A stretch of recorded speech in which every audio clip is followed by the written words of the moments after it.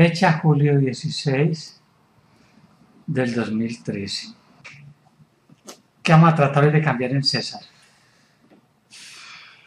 Como todo, muchas cosas. Bueno, yo, te, yo lo, lo voy a dividir en, como en bloques. ¿sí? En cuestión de salud, eh, quiero sanarme y curarme. Yo lo determino, lo llamo así para poder identificar. Un cortocircuito, un electrochoque que yo siento en el cuerpo. Me da desde hace muchísimos años. En el día lo puedo controlar porque estoy despierto, yo lo respiro, yo siempre cargo agua, aquí cargo agua, yo tomo agua y con eso. De noche, como no lo puedo controlar, me da un ahogo y en muchísimas ocasiones durante muchísimos años convulsiones. ¿Qué siento en el cuerpo? Sí, entonces como un cortocircuito, un electrochoque. Especialmente por la noche. Durante el día, en el día o la noche, aquí me puede dar, pero yo lo puedo controlar, pero de noche no lo controlo, me da un ahogo, me hace sentir, sentar bruscamente. En la Y- noche. En muchas ocasiones, no hace mucho tiempo no lo hago, convulsionaba. Eh, hace tiempo no convulsiono. Controlo. Cosa que sí puedo hacer en el día. El control en el día sí lo puedo hacer, de noche no. Eso los médicos me determinaron que era... Eh, ¿Qué cómo era que llamaba? Ay, se me olvidó. A veces convulsión. Y a veces, sí, a veces convulsioné. Muchos años duré convulsionando. Em, por la misma época en que más o menos me dio, me empezó eso, eh, sufrí una, he venido sufriendo de una disfunción eréctil, pero no es, eh, es decir, sí tengo erección, tengo una relación sexual primera, pero yo una segunda o una tercera en la misma relación no la tengo, no pude volver a usar preservativo porque se me iba al piso. Yo no era así. Yo era una persona, llamémoslo así, normal, usaba el preservativo durante muchos años, pero eh, a raíz de eso una disfunción eréctil. Y la he mantenido. Yo, eh, para tener una segunda relación, es a veces muy complicado, muy difícil.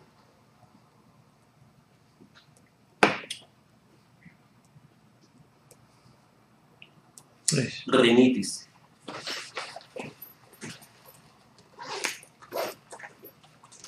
yo era así como usted y peor. Yo tenía que usar el papel higiénico y no daba abasto. Yo no puedo usar esto, usted me lo ofrece y yo lo uso, pero me da peor, porque esto tiene un polvillo y Eh. se va y ahí sí es peor. Por eso uso pañuelo. Ah, A bueno, veces come- digo yo cometo la grosería de usar pañuelo, pero es que no puedo No, usar no. otra cosa más. hágale. Yo era peor y me sané completamente. Hace muchos años yo tenía que dormir hasta cubi- tapado con la cobija porque el frío en la noche me tapaba las narices. Sí, Se ponía peor. sí. Y un primo médico que ya murió me dijo, Aurelio, vas a tomar esto, pero si te calma, aguántate lo más que puedas, porque es adictivo. Una cucharadita de jarabe, rinofrenol. Rinofrenol, sí lo conozco. Pero eso sí, no lo abuse porque se vuelve adicto. Y empecé a hacerle caso al 100%. Me lo tomaba la cucharada, me calmaba, me aliviaba y luego me aguantaba lo más que pudiera para la siguiente cuchara. Y fui notando que ya el espaciamiento entre cucharas era mayor. Sí, Hasta que un día magia, nunca más, Nunca. desapareció.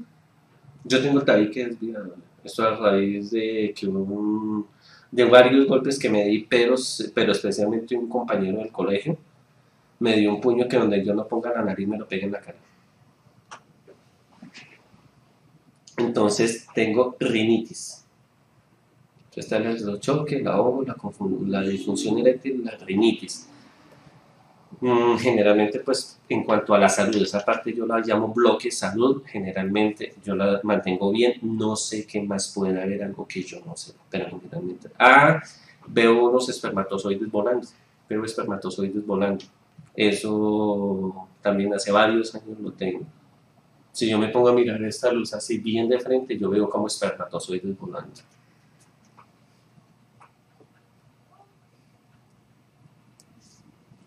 Bueno, ese es el bloque de la salud. Bloque de la parte económica del dinero. totalmente caído. Llevo muchos años así, a pesar de que soy abogado, de que estudié, hice el esfuerzo de estudiar, me pagaron la universidad y todo, em, bloqueado, totalmente bloqueado económicamente. A nivel económico, a nivel profesional todavía caído.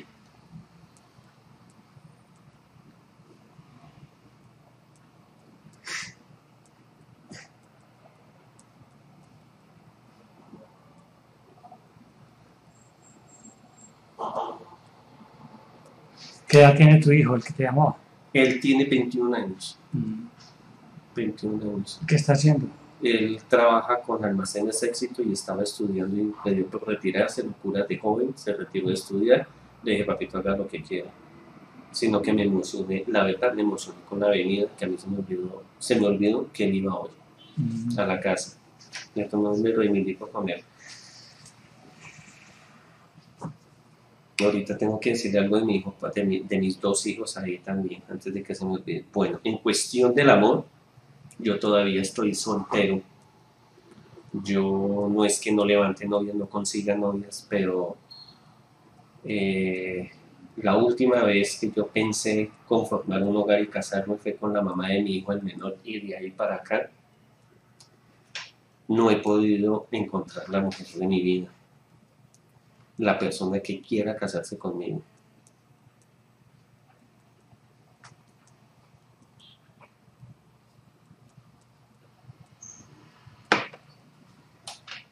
Bueno, en cuestión de salud, dinero y amor, bueno. Yo quiero desarrollar y tener más inteligencia y sabiduría, me llama mucho la atención. Esa parte yo he tratado de trabajarla. Lo que pasa es eh, eso de la inteligencia es porque mm, hace muchos años, eh, por decirlo así, se me borró el cassette, yo no sabía ni cómo me llamaba, ni de dónde era amigo, ni de dónde era vecino, ni para dónde iba, ni para dónde venía. Ahora, con el tiempo volví a recuperar la memoria y empecé a trabajar lo que llama la inteligencia y la sabiduría. Me llama mucho ese- la, la atención ese tema de la inteligencia y la sabiduría. He querido desarrollarla, pero sí a veces se me olvida. Sí he logrado, logré eh, recuperar la memoria. Yo sé que la memoria no se pierde, yo sé que se me había perdido. Volver a recuperarla. Pero sí hay momentos en que a veces se me olvida. O sea, yo tenía la facilidad de, por ejemplo, saber su número de celular. Usted me lo dictaba y yo lo ten- y yo con eso era suficiente. Yo no andaba con agenda ni nada. Eso quedó borrado. Es decir, lo hablo así, no para que me lo entienda. Quedó borrado y yo quisiera volver a- a- a trabajarlo. Un tema que me llama mucho es la intuición. Yo he querido desarrollar mucho la cuestión de la intuición porque yo veo que yo tengo eso, pero yo quisiera desarrollarlo más, saber cómo es, cuál es el camino, cómo puedo yo poder desarrollar la intuición, porque yo a veces resulto hablando y diciéndole cosas a las personas que no sé de dónde vienen y con el tiempo me dicen, César, lo que usted me dijo es así, lo que me dijo usted es verdad, o usted cómo hace pasar que eso pasó, eso sucedió, bueno, en fin, eh, eso de esa partecita, pues la llamo de la intuición.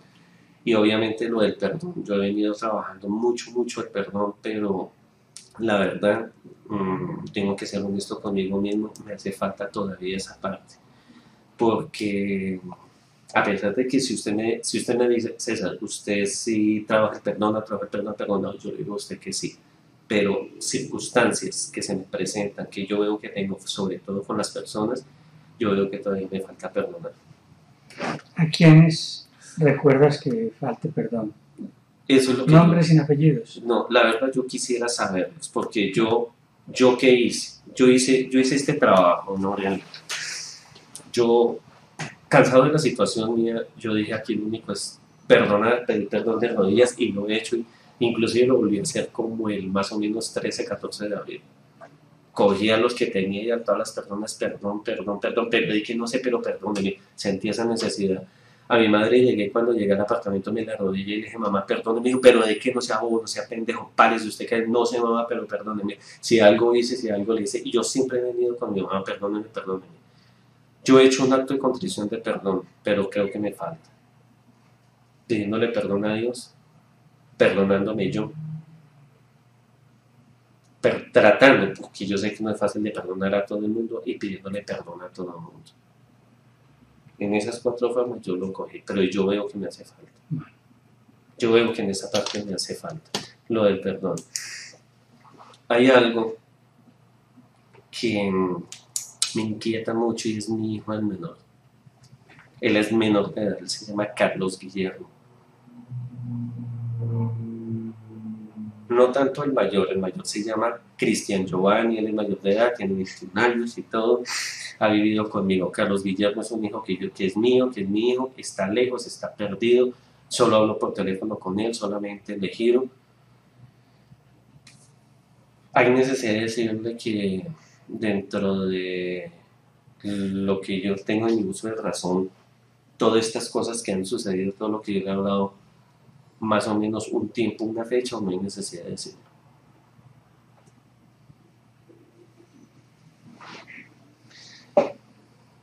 El electrochoque que digo que yo siento, porque es un corrientazo que yo siento, el ahogo, la convulsión, que se me fue a mí abajo lo del dinero, lo del amor, lo de la parte de la salud, del dinero, del amor, de lo de la inteligencia, de la intuición y todo eso, más o menos tiene una fecha. ¿Hay necesidad de decirlo? No. No hay necesidad de decirlo. Ok, perfecto. Todo eso viene ahí. La disfunción eréctil viene desde esa época más o menos. Eh, no sé si decírselo o no, pero no, no, no hay mi intención venir a saber cosas que de pronto yo ya sé, la sospecho algo. No, yo lo que quiero es salir de esto, sanarme y curarme. Creo que todo el mundo le ha dicho lo mismo. Usted no sabe el esfuerzo que yo he hecho para demás. Cierto que sí, todo el mundo se lo dice, aunque yo también se lo doy. Entonces, eh, por ahí leí un correo donde usted dice que usted tiene su concepto de Dios porque una persona me mandó diciendo en, en una terapia o habla usted de las cosas de Dios con una, con una paciente. Eh, entonces la otra manda decir, ese es el concepto que usted tiene, y luego Dios esto, y Dios que usted cual tiene el concepto de Dios. Pero vengo puesto las manos en Dios y en usted. He hecho muchísimas cosas para poder salir de esto. Es cada vez un pedazo, un pedazo, un pedazo, un pedazo, voy todo por pedazos. Vengo con el propósito de que esto sea el fin del fin. Si no lo es, pues no va a pasar nada, no sé qué podremos hacer, qué va a pasar adelante. Qué, ¿Qué logramos hacer? Sí. Tomé su café, yo más el otro día y empezamos. Me olvido, ha habido ciertos, de buena manera, ciertos roces con mi madre, ¿sí? Ella es una mujer muy divina, muy linda, pero hay ciertos roces con ella, hay ciertas cosas que como que me molestan, como que me choca, como que dice ciertas cosas como para molestarme, que yo se lo he dicho muchas veces, yo se lo muchas veces a ella, mi mamá, ¿usted dice eso para molestarme, para sacarme la piedra? No, mi hijo, yo no hago eso. Entonces, ¿pero por qué me irrito? ¿Por qué me molesta? Entonces un día yo llegué y le dije, le hablé en serio con ella. Le dije, la última vez que lo hice, le dije, mamá, ¿usted lo hace intencional para sacarme la piedra? Me dijo, yo ni lo hago intencional, ni le saco la piedra, ni nada. Entonces, ¿por qué lo hace? Dijo, piense lo que usted quiera, haga lo que quiera. Esa ya me sentí y me bajó contra el piso. ¿Cómo llama ella? Raquel Castro. Y el cuento, estamos viviendo así. Esto nomás nos separa de, la, de, la, de, donde vivimos. Estamos viviendo donde una familiar, vivimos en una habitación y cada uno en la casa donde nosotros vivíamos la vendimos. Ella tenía su habitación y yo la mía. Ahora, algo que, que a mí me pone a pensar eso, ¿por qué estamos así? O sea, la cama mía es acá y la de ella acá. El pasito nos diferencia, es una cuarta nomás. Eso también a mí me pone a pensar. Yo analizo y miro muchas esas cosas, pero yo digo el por qué y el para qué de las cosas porque yo pregunto eso. ¿Por qué? No solo por qué, no, sino para qué. Creo que no más. ¿Y cuánto hace que estás viendo los videos? Hace aproximadamente unos dos meses. ¿Lo encontraste por casualidad? Lo que pasa es que este tema me ha fascinado hace muchos años, mucho tiempo y yo lo, yo lo quería hacer, pero dejé de un momento a otro. Eso es otra cosa que a mí me sucede. Yo vengo haciendo algo, de un momento a otro lo dejo. No obligo a hacer las cosas, dejo que las cosas se den. Entonces yo me olvidé del tema. Algún día mi hermano me dijo, yo le mandé a usted un, un correo, se dio cuenta de eso, dijo, le dije, no, sobre, le dije, ¿sobre qué? Me dijo, sobre un tema que a usted le gusta y le fascina. Le dije, ¿sobre qué? La regresión. Entonces llegué y lo busqué. Entonces me puse a buscar ya en YouTube entonces busqué regresiones a vidas pasadas y allí salió usted, lo subió, entonces empecé a ver los videos. Me ve uno diario. Me ve uno diario. Y lo vengo más o menos unos dos, más o menos dos meses, un poquito menos de dos meses. Pero yo me he visto como unos, como unos 40 videos. Son 660. Sí. Lo que pasa es que en su página web, en la su página, yo le doy y están en, por orden alfabético de nombres, pero yo le doy ahí y no abre. Entonces me toca por YouTube. Sí, es que en la página incluso ya no los puedo poner sí, porque se vuelve muy pesada la página de abrir. Sí, Eh, entonces ya no los puedo poner en la página, tiene que ser en YouTube. sí. No sé por qué se vuelve tan pesada la página. Yo estuve en tratamiento psicológico con un amigo, él es psiquiatra, y él me trató, duró más de un año, más de un año y medio, casi dos años tratándome, porque necesitaba esa ayuda. Es que yo vengo así por pedazos, por parte, por parte, en un lado, en otro, y busque y busque. Bueno, igual. Eh, yo le dije a él que me hiciera una regresión y me dijo, no, César, usted no necesita eso, yo no se lo voy a hacer. Le dije, listo, hermano, gracias. Pero yo vengo con ese tema. Bueno, cierra los ojos. Afloja el cuerpo, suelta lo que estés cómodo. Voy a indicarte cómo respirar para aumentar el volumen de aire en tus pulmones y por consiguiente el nivel de oxígeno en tu sangre. A medida que tu sangre se vaya enriqueciendo en oxígeno y comience a circular de ese modo por tu cerebro, gradualmente, poco a poco, comenzaréis a sentir sensaciones extrañas. El potencial de oxígeno en tu cerebro te permitirá recordar eventos olvidados, revivir emociones, miedos, tristezas, alegrías. O también te permite conectarte con planos superiores de conciencia. Lo que suceda será motivado por tu respiración. En la indicación que te daré de cómo respirar, no importa que me adelante o atrase, lleva tu propio ritmo. A la primera vez, aspira aire lentamente, poco a poco llena tus pulmones. Cuando sientas que se han llenado, deja acelerar un momento mientras cuentas uno y lo liberas lentamente.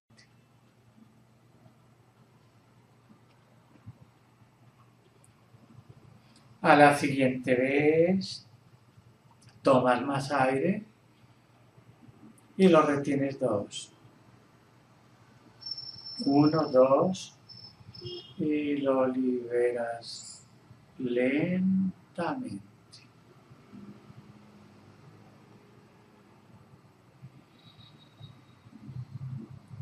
A la tercera vez, tomas más aire y lo retienes tres. Uno, dos, tres. Y lo liberas lentamente.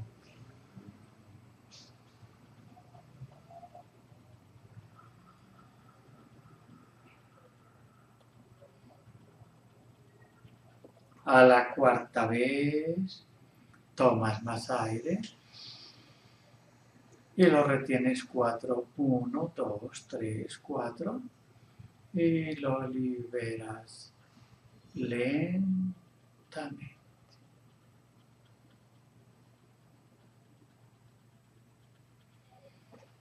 Ahora ya puedes normalizar tu respiración y dejar que siga siendo lenta, pausada y tranquila. Con cada respiración vas sintiendo esa sensación más profunda, más profunda. Puedes recordar o vivenciar un momento en tu algo que te haya afectado.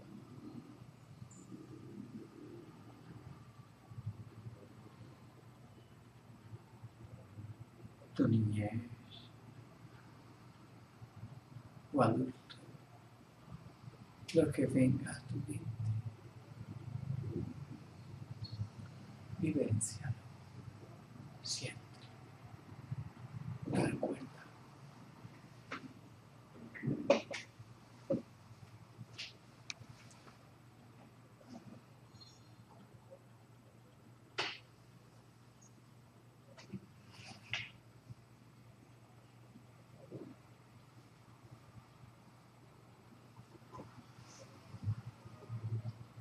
Y vas cada vez más profundo, más profundo.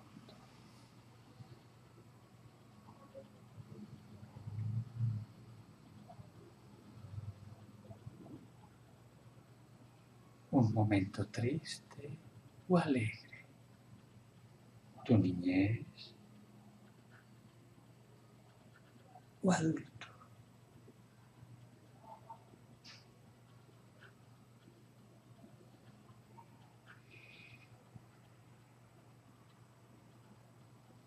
siéntelo, recuérdalo.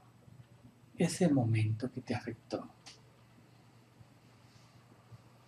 Ese momento que viene a tu mente.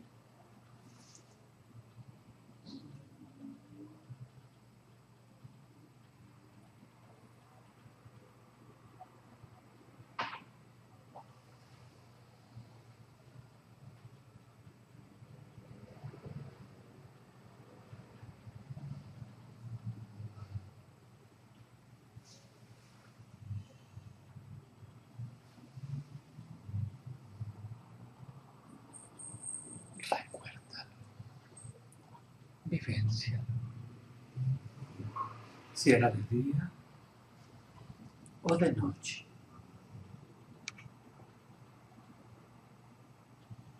Lo que estaba sucediendo.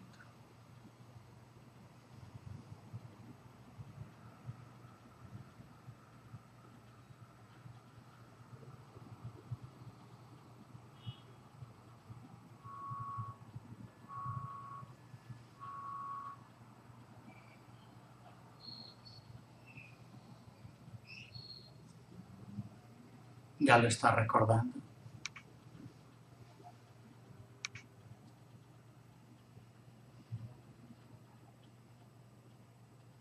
Recuerda un momento en tu vida, triste o alegre.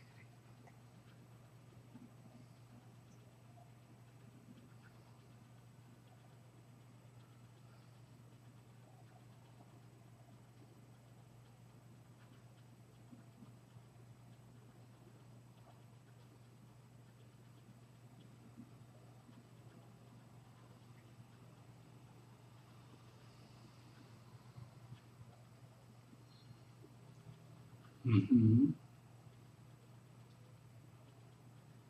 ¿Qué estás recordando?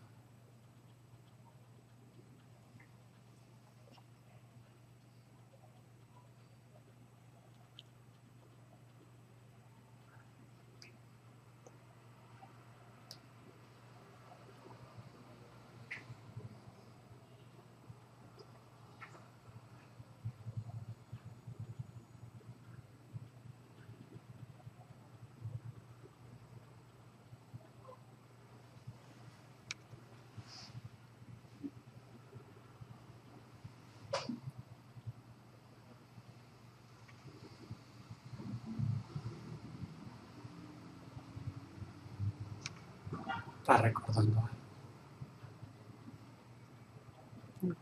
Puede ser un compañero del colegio. Puede ser Cosme. Puede ser algo en tu niñez.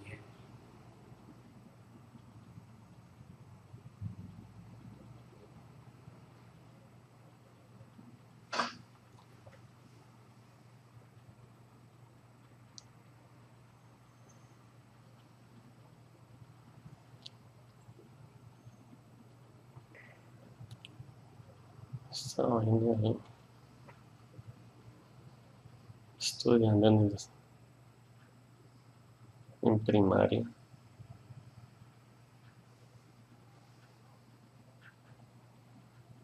Segunda primaria.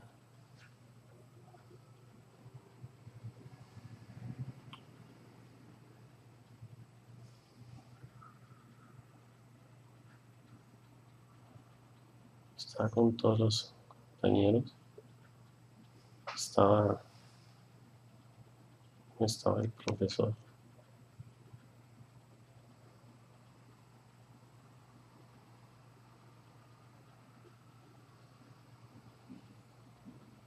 Llega otra persona a cuidarnos.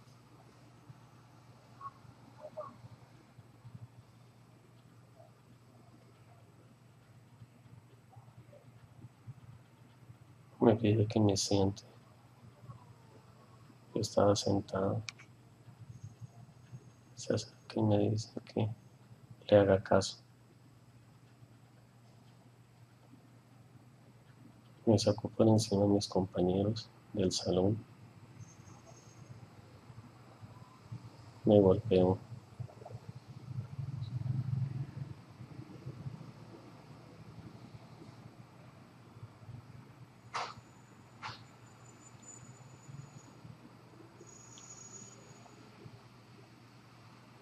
Se un conflicto.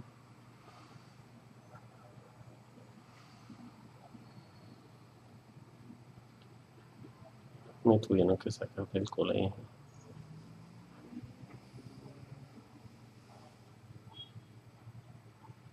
No matricula en ninguna escuela pública. Y el primer día no recibí una golpe.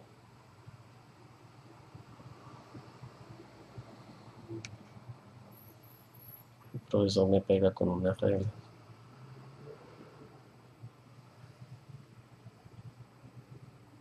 No quiero volver a ese colegio.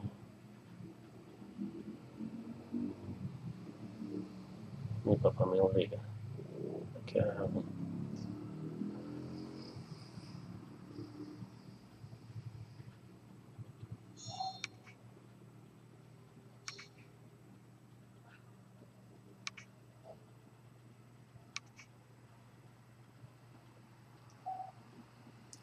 hablar un momento con él, con tu papá. Voy a contarle una, tres y cambias.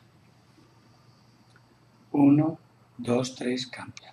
Cosme, tú sabes que a ese niño, a tu hijo, le pegaron el colegio.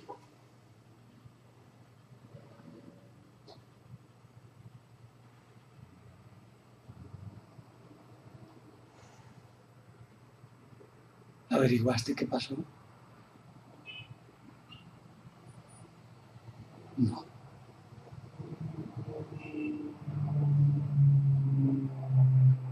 Un profesor le pegó con una regla y por eso él no quiere volver a clase.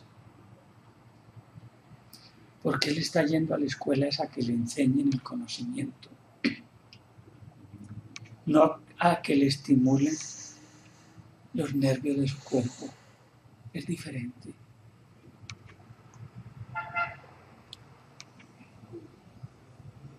Él está yendo a la cuna del conocimiento, no a la tortura del cuerpo.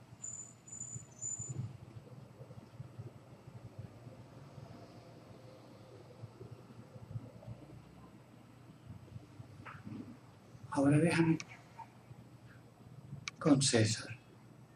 César, vuelve otra vez a ese momento en el que es ignorante te saca por encima de los compañeritos y te pega.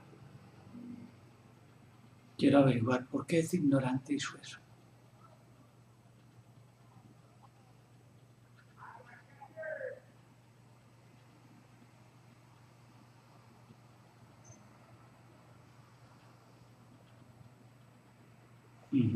¿Qué está sucediendo?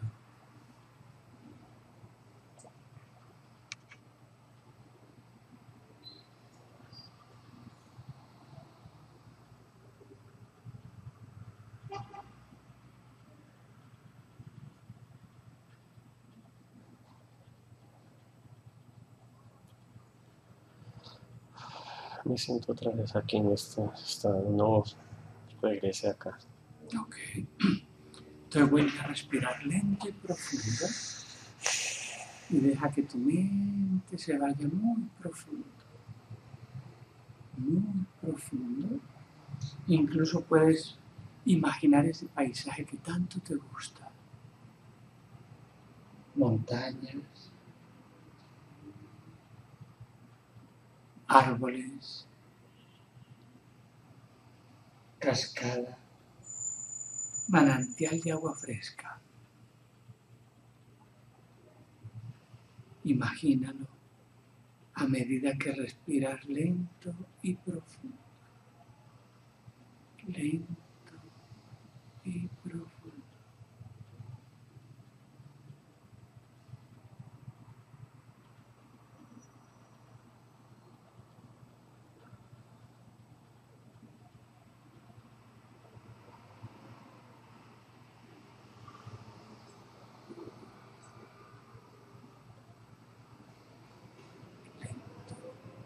Y profundo.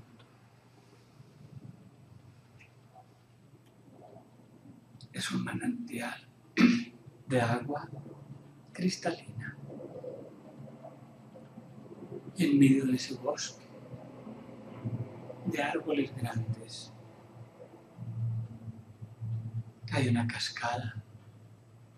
Se siente el canto de los pájaros.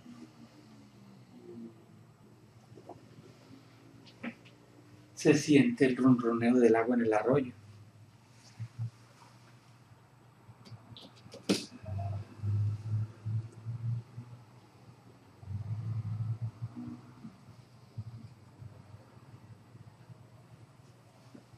Se siente la brisa fresca.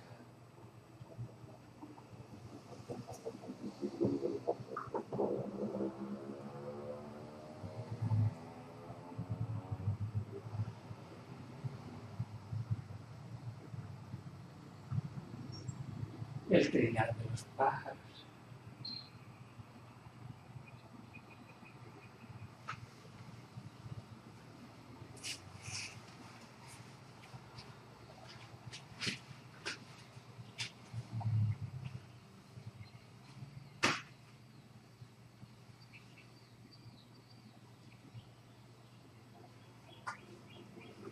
el murmullo del agua. La cascada.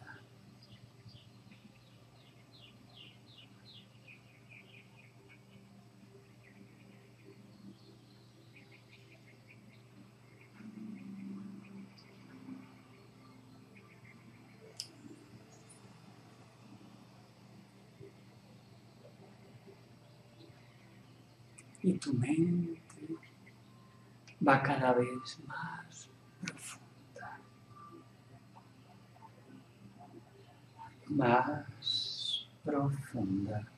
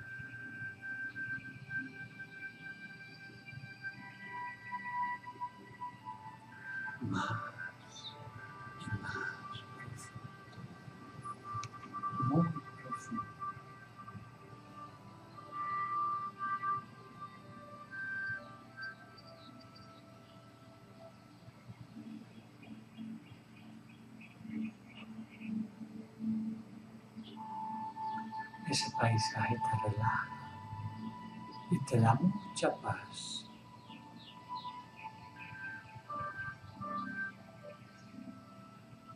Y te lleva cada vez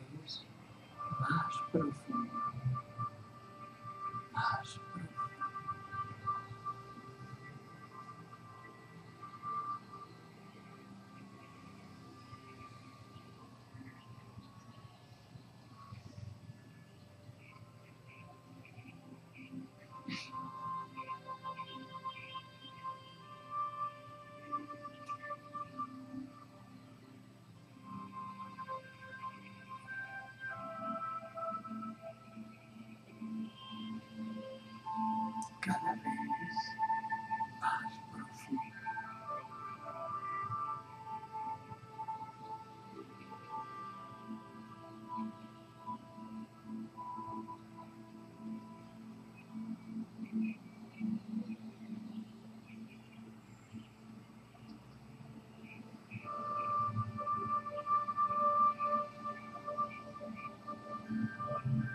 Cada vez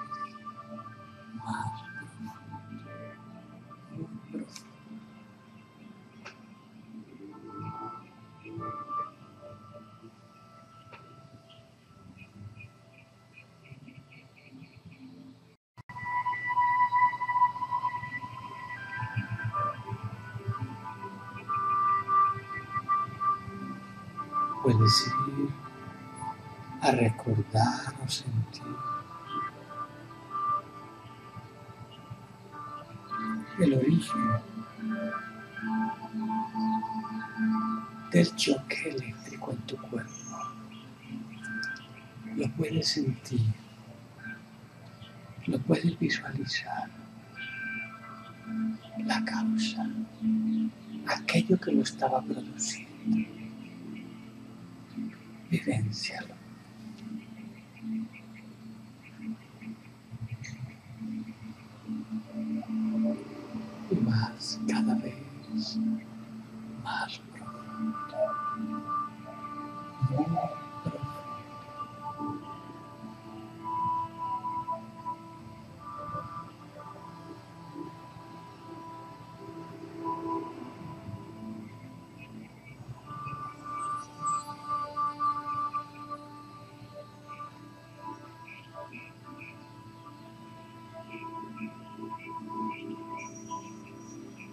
¿Qué estás imaginando?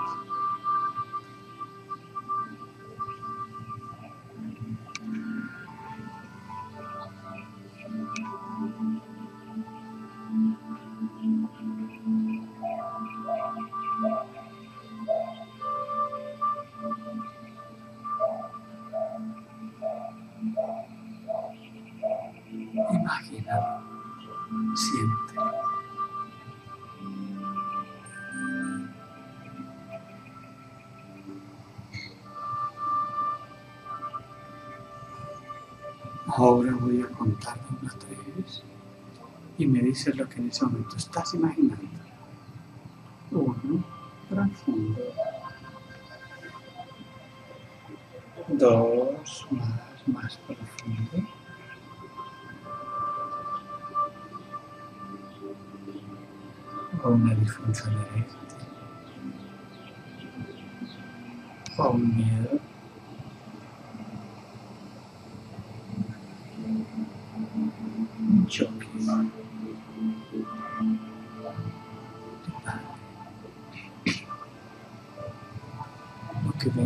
Venga a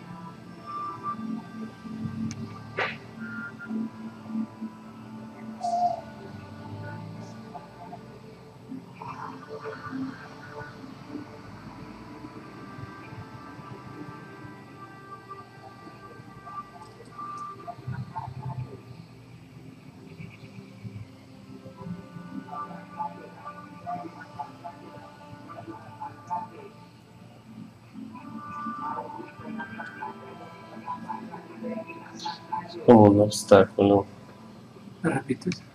es como un obstáculo que no me deja llegar a donde yo quiero llegar. Eh, No es a donde tú quieras llegar, es que ese es el problema, ahí está el obstáculo. Hoy vamos a que sea tu mente inconsciente la que te lleve. No la vas a guiar, no la vas a llevar. Eso lo hace tu mente consciente. Pero ahora vas a dejar que sea tu inconsciente el que te lleve a donde quiera llevarte, sin límites, sin condiciones. No es a donde tú quieras llegar, sino a donde tu mente te quiera llevar. Contaré unas cinco a ver a dónde te lleva. Uno, dos,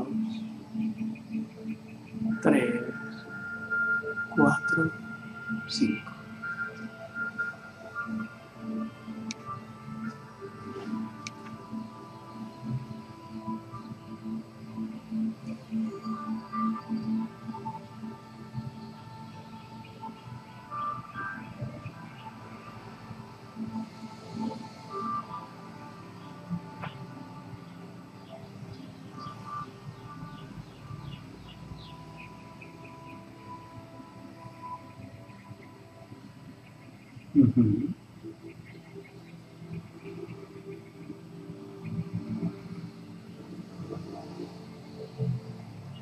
¿A dónde te llevó?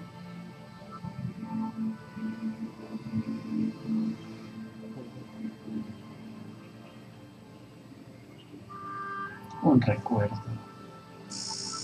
una sensación, un pensamiento.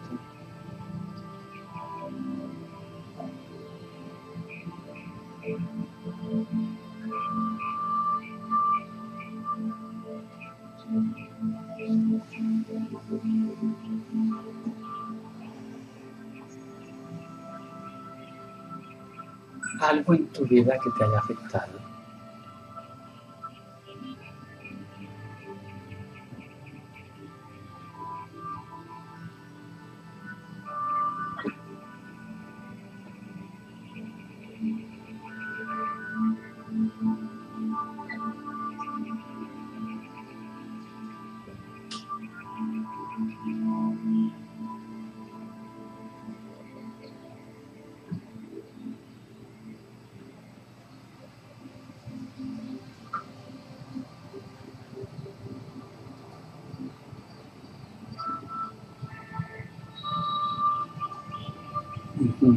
Que viene a tu mente.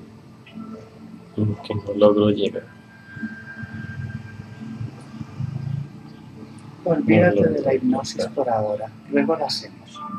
Olvídate de la hipnosis. Vamos a hacer primero un ejercicio de pensamientos. Pensamientos.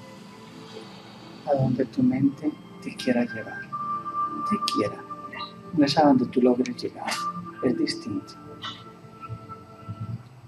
Luego, yo decido en qué momento hacemos la hipnosis. Pero por ahora,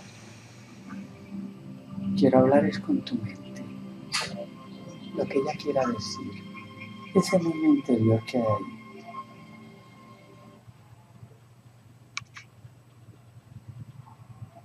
Permítele a ese niño interior que se exprese, que diga lo que quiera.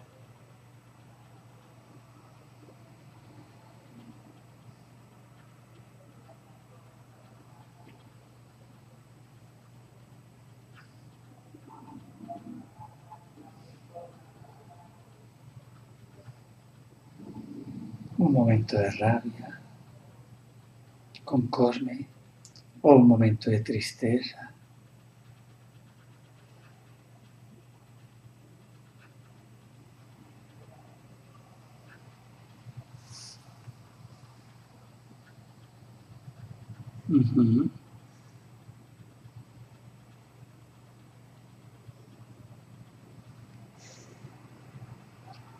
Es lo que llega a tu mente, no lo analices. Nada, nada de análisis. Tal y como vienen las cosas a tu mente.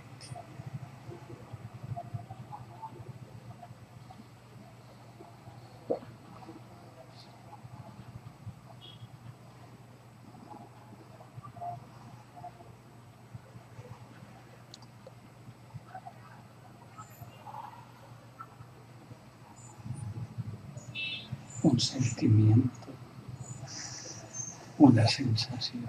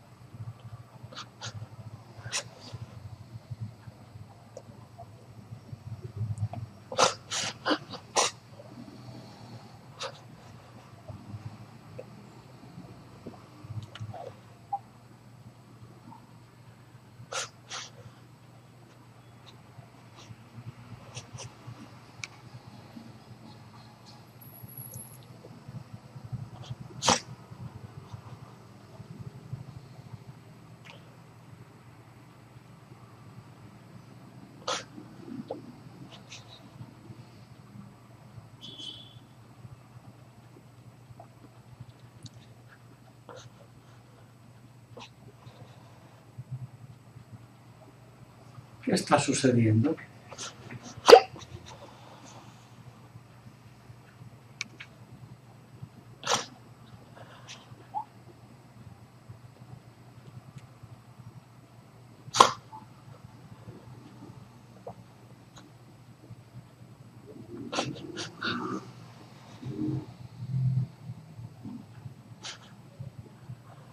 Papá, perdón, mamá. Pegándole.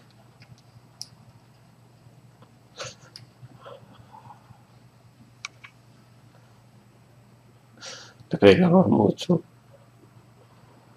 Casi la mata.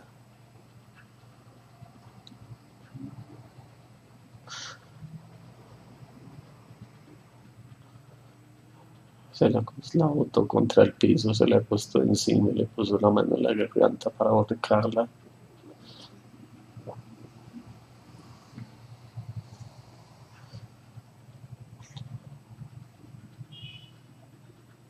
Observa qué edad tienes tú ahí más o menos.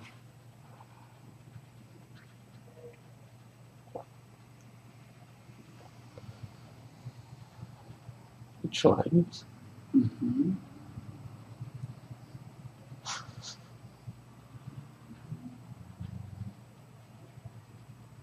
¿Y qué vas a hacer? Puedes coger aunque sea un palo y pegarle. nada. No permitas que le hagas a tu mamá.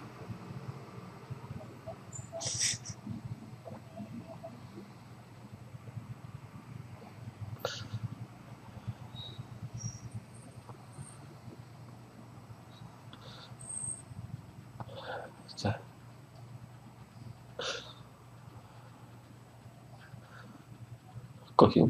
Que tiene mi papá guardado, Ajá, grueso, grande. eso.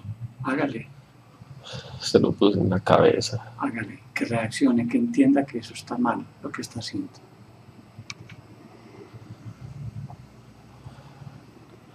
Se pone la mano en la cabeza y me mira. Ujú. Siempre es bueno que el hijo lo haga reaccionar.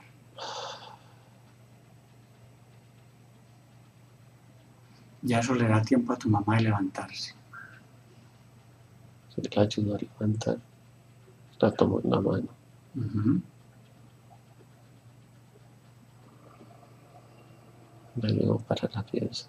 Ajá. Y se pone a llorar. ujú. Y dice que siempre hace lo mismo.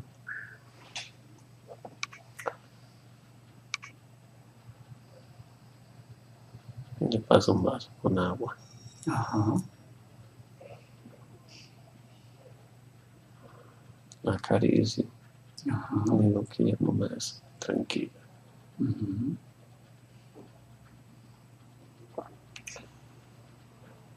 No veo a mi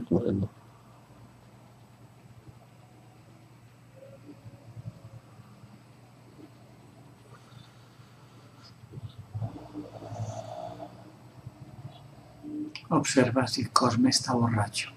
No. No. Entonces mejor porque así entiende mejor el mensaje que le acabas de mandar. De que hay un hombre dispuesto a defender a la mamá.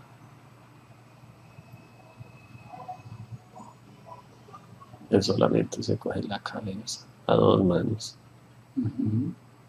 La coronilla. Ajá. Siempre es bueno que le duela para que entienda lo que estuvo a punto de hacer.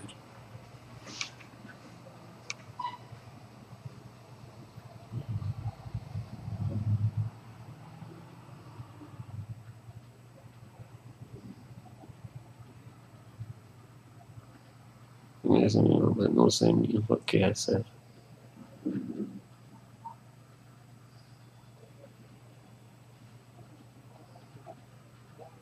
Pero ahora se llora y me dice que solo los los dos. Solo ustedes, mijito, los tengo. A los dos nomás. Ujú.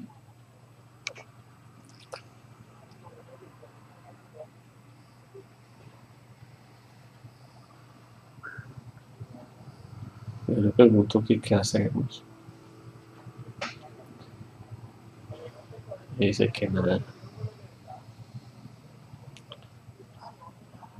Que yo solo aguanta y acepta todo por nosotros. Ajá. Que nos quiere mucho. Yo estoy todo loco por ustedes.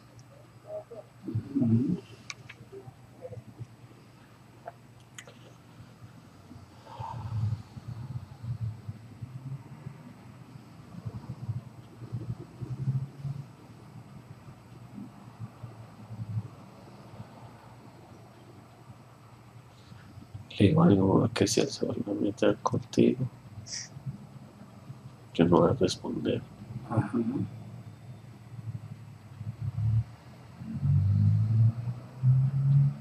Que lo deje, déjelo. Así que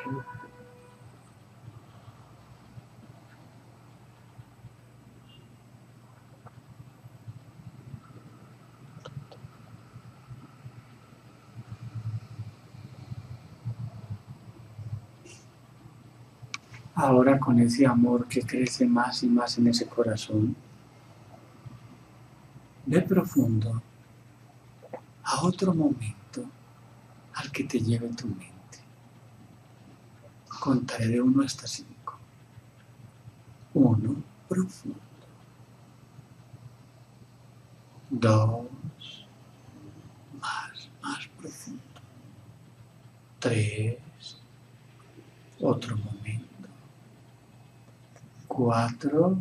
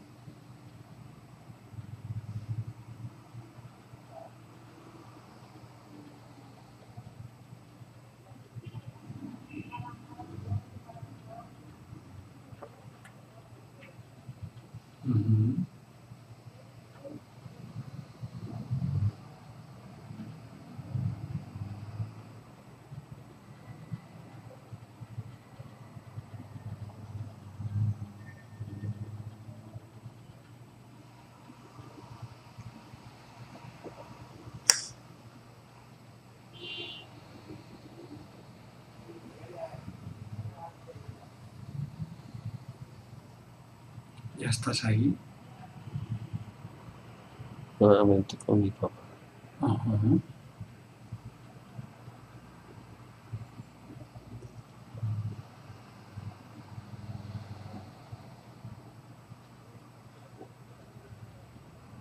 Me pegó.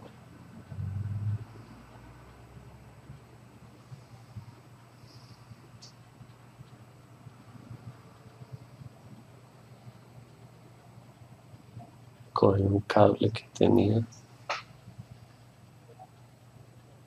Me pegó. Hasta que se cansó.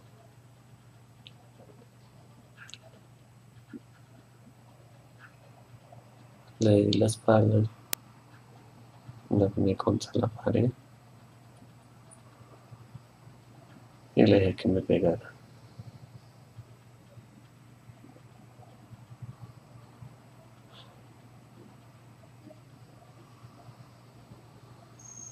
Mi mamá no estaba. Ella salía.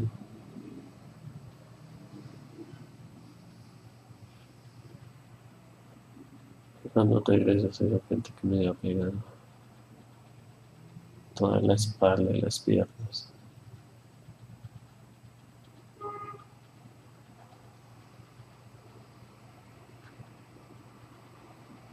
Hace reclamo que lo hizo, que mire cómo me volvió.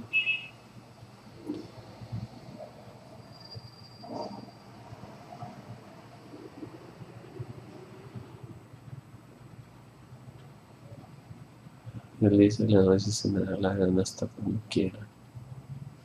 Ahora ser viejos en la jeta les doy.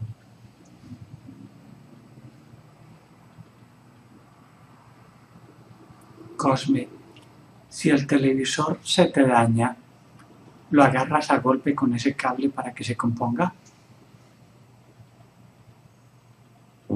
¿Tú qué crees? ¿Se No. va a arreglar? No. No, no se va a arreglar. Tendrías que ser muy estúpido para coger a golpes con un cable el televisor o el radio o el celular porque está funcionando inadecuadamente. Ni estúpido harías eso porque sabes que no va a funcionar. Entonces, ¿cómo suponer que algo que vale más, que es de tecnología más avanzada, que ese televisor o ese radio, si se arregla si lo pones contra una pared y le das con un pedazo de cable? Tienes que ser muy estúpido, muy tonto para pensar que eso ocurrir. Si no lo haces con un aparato de baja tecnología, que lo venden en los almacenes, que se puede cambiar cuando uno quiera, lo haces con algo que vale muchísimo y no tiene reemplazo. Tienes que ser muy tonto para eso. Y lo hiciste. Por lo menos, como disculpa, ¿estaba borracho? No, imagínate, peor todavía. Yo no imaginé que César tuviera un papá tan tonto, tan estúpido, de creer que con un pedazo de cable, dándole golpes, se iba a arreglar. No se arregla el televisor, no se arregla el radio. ¿Tú quisieras que César te perdone por esa estupidez? Él te está escuchando espiritualmente, háblale. Yo sé que tu cuerpo ya no existe. Yo sé que tú estás en esa otra dimensión. Pero hiciste una estupidez. Por lo menos pídele perdón a César por eso.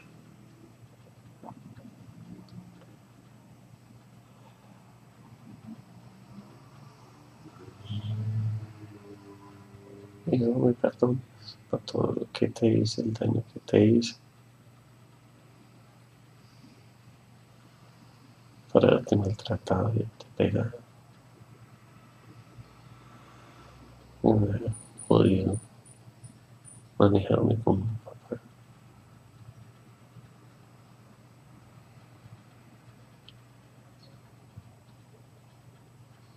Si no tú todo, tú lo sabes.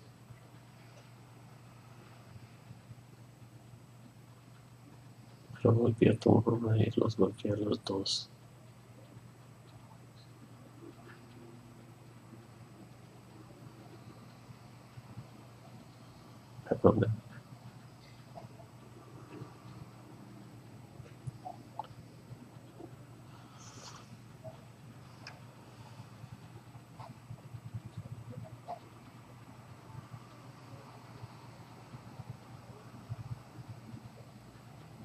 César, perdonamos a ese estúpido por eso.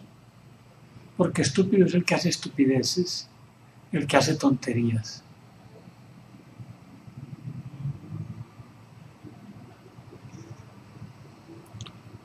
Tranquilo que no vas a ser el primer hijo que tiene un papá estúpido, tonto. Ha habido y habrá todavía. Pero ese fue el que te puso el destino que vamos a hacer.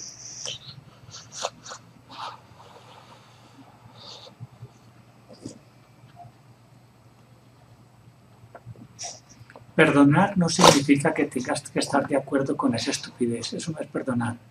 Es alcahuetería. Perdonar es que César no siga llevando hoy en ese corazón ese resentimiento, esa rabia. Eso es perdonar. No es un favor que le hagamos a ese estúpido, no. Es un favor que le hacemos a César.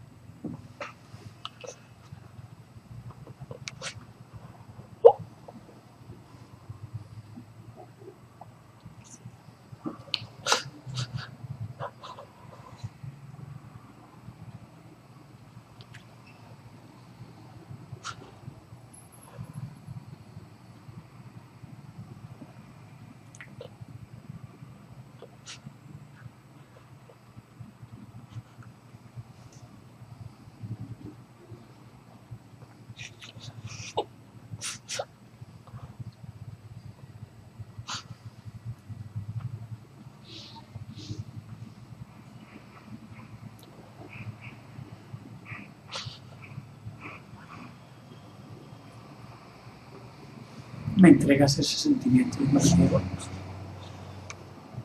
Lo retiramos.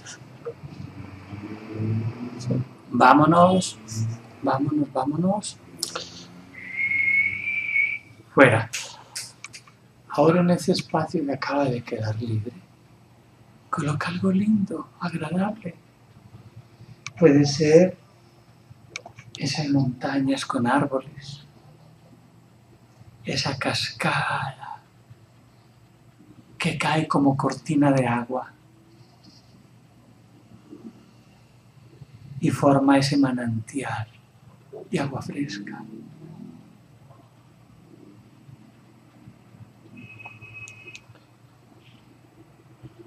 Puedes colocar cuando estabas elevando esa cometa o subiendo a ese árbol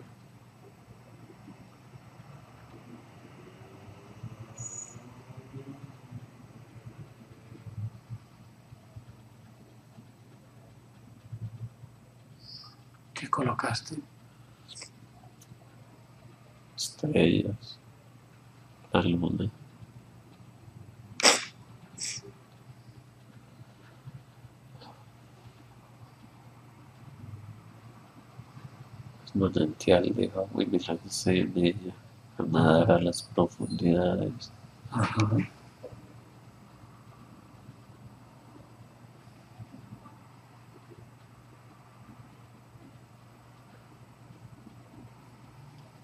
Ahora con eso tan lindo en tu corazón,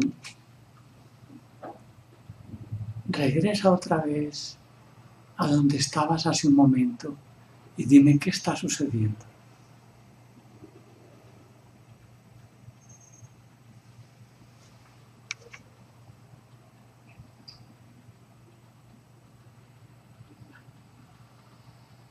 No veo a mi ya no veo a mi papá. No lo veo.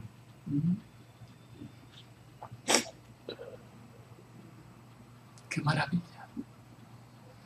Ahora con ese amor que crece más y más en ese corazón, ve profundo a otro momento que anteriormente te hubiera afectado.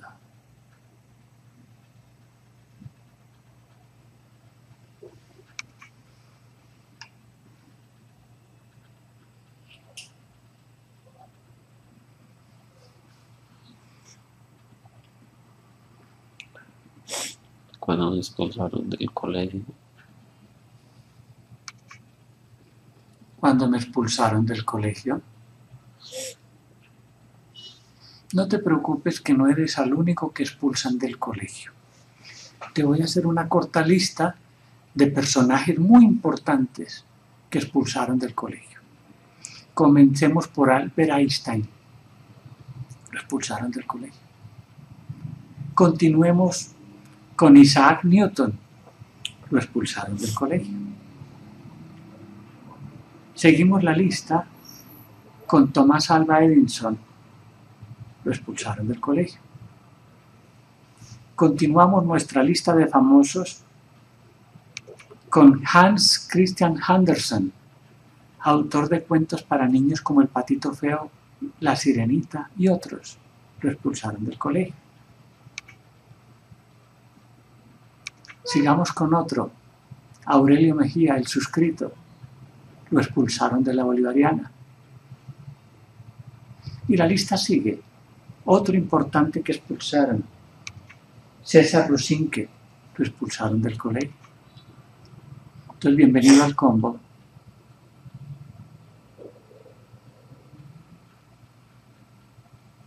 Tranquilo que no somos los únicos ni seremos los únicos. No fuimos los primeros ni tampoco seremos los últimos. Seguirán expulsando gente importante de los colegios.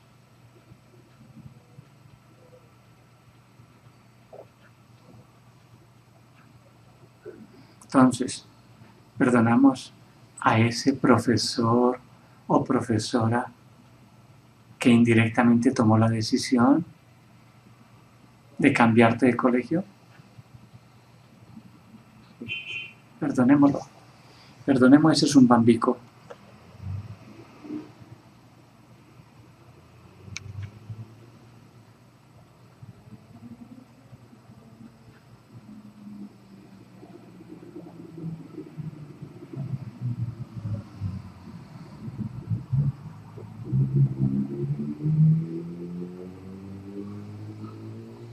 yo me llevo ese sentimiento.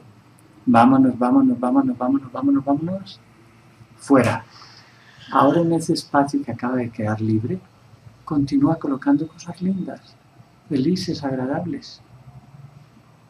La expulsión de un colegio es simplemente una batalla que perdiste. Una batalla. En ningún momento significa que sea la guerra. Napo, ese francés tan famoso que llegó a ser un león en las artes marciales, en lo militar, y que logró el título de general Napoleón, perdió batallas, pero ganó la guerra. Y el periodista cuando lo entrevistó le dijo, General Napo, ¿a qué considera usted que se debe el éxito en su vida? Digo, muy sencillo. De todo lo que me sucedía, yo solo tomaba la buena parte la mala parte no me interesaba, eso es basura. Entonces, por eso es que a usted le dicen general Napoleón Bonaparte. No, sí, por eso.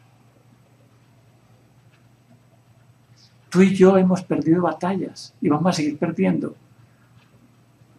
Pero a ti te faltan muchos más años que a mí para terminar la guerra. Vamos a perder batallas en lo emocional, en lo afectivo, en lo económico, en lo cultural, en lo que tú quieras. Pero es que eso no es la guerra, son batallas. Entonces, comandante, ¿seguimos para la siguiente batalla? Hágale. Vamos para la siguiente. Adelante, con paso de vencedores.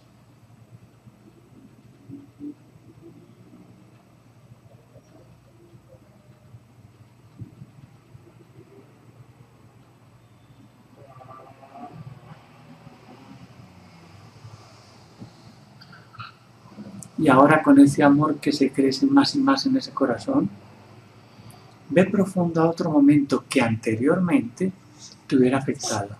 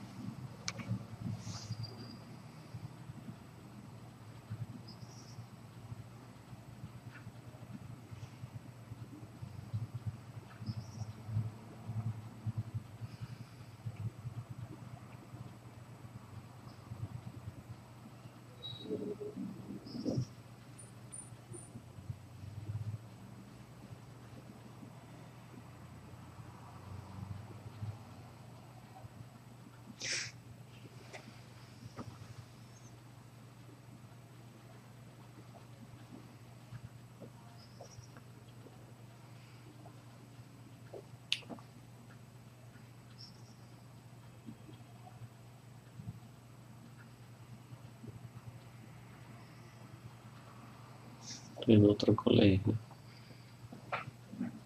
En otro colegio. Me maltrataron mucho. Me trataron muy mal. Ajá. Profesores, compañeros. Ajá.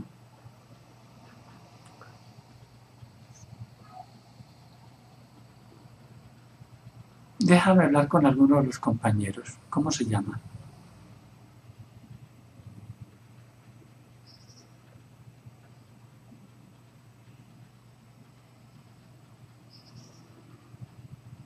uno de los profesores. Álvaro García. Álvarez. Álvaro García. Álvaro García. Álvaro García. Albarracín. Quiero hablar un momento con él. Permítele que se exprese a través de tu mente. Uno, dos, tres, cambia. Albarracín, ¿me das tu versión de los hechos? ¿Qué sucede con César?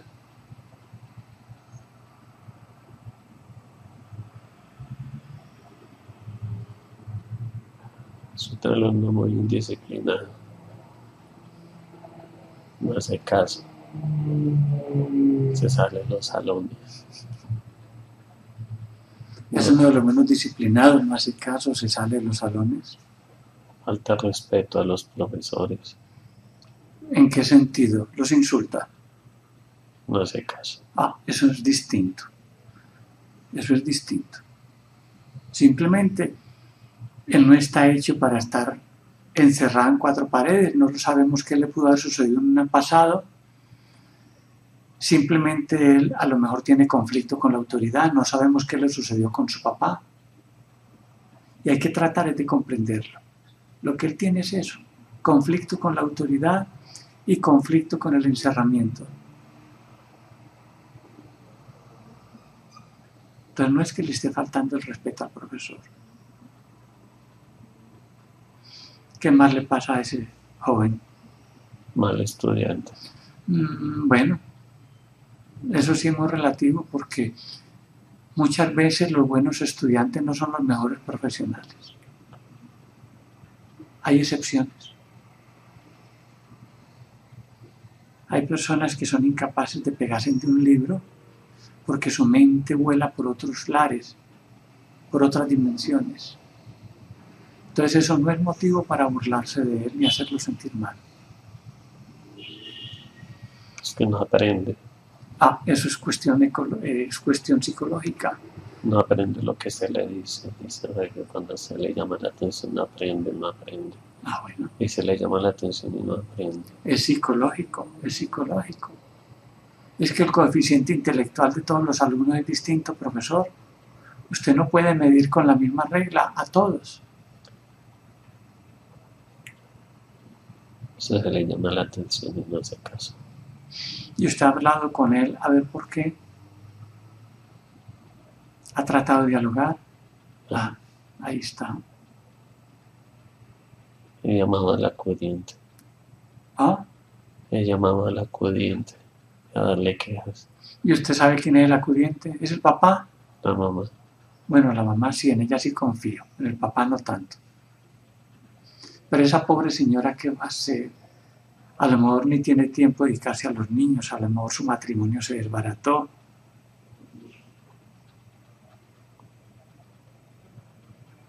Que el hermano sí es un excelente alumno, muy buen alumno. Es muy disciplinado, muy quieto.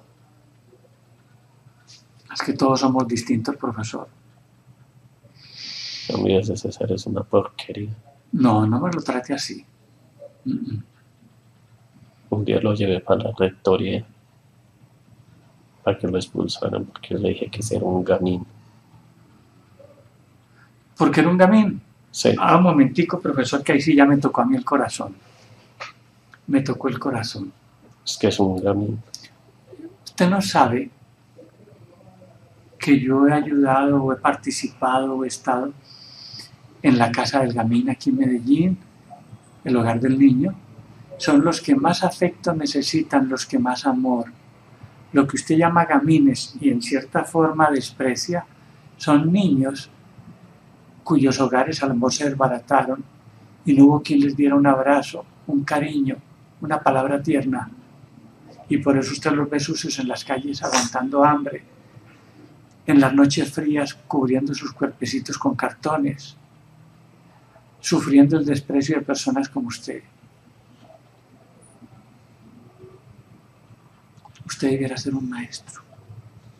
Maestro no solo es enseñar las fronteras geográficas de un país o las leyes de un estado. No. Un maestro debe dar todo lo relacionado con el amor, además del conocimiento. Supongamos que es un camino. Todo, todo el colegio lo detesta.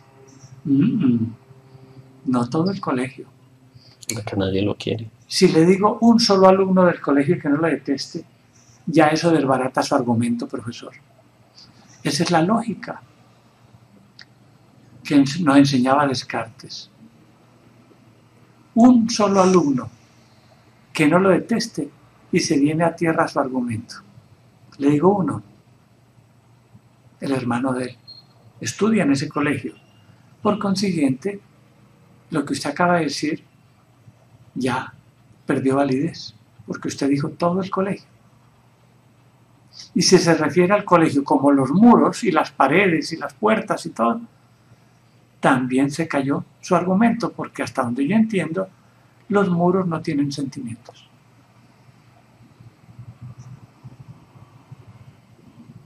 Entonces usted no puede hablar por todos.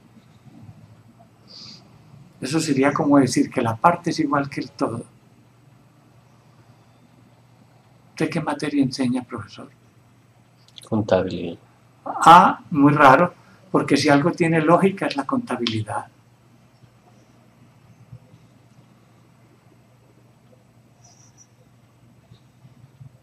Muy raro.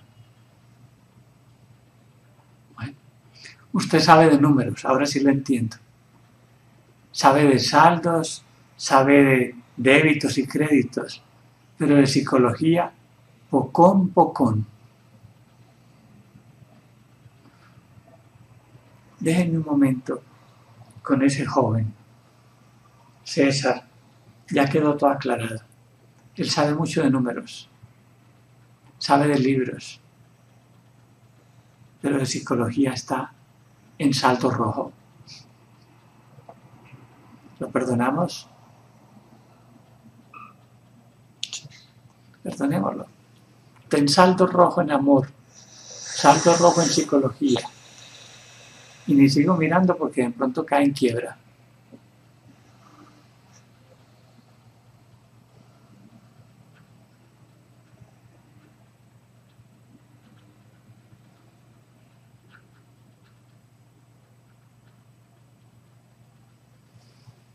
¿Ya lo hiciste? Ahora vuelve a esos momentos en que anteriormente te sentiste mal con el profesor Albarracín o algunos otros ignorantes que pensaran como él.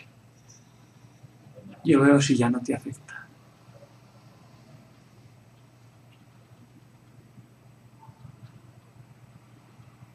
Bueno, no lo veo. Eso, mira qué maravilla. Así de simple. Me Magia. pregunto por todos lados y no lo encuentro. Magia. Se fue a buscar 50 centavos que se perdieron en la contabilidad. Por ahí está buscándolo, a ver dónde está el recibo. Ahora con ese amor que crece más y más en ese corazón, ve profundo a otro momento que anteriormente te hubiera afectado.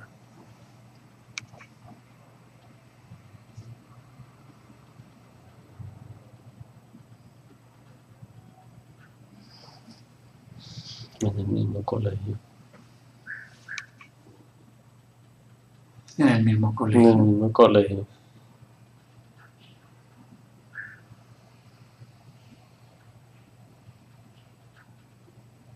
Estábamos en un piso.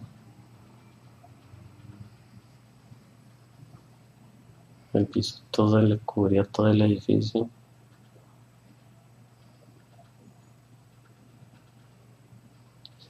Estamos todos los alumnos del colegio. Encima de la tarima estaban los profesores y el vicerrector.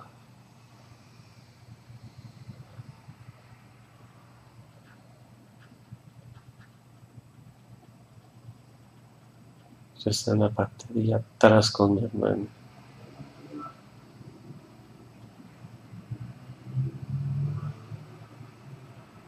Celebrando con una en vez de la madre. Él se para en la tarima,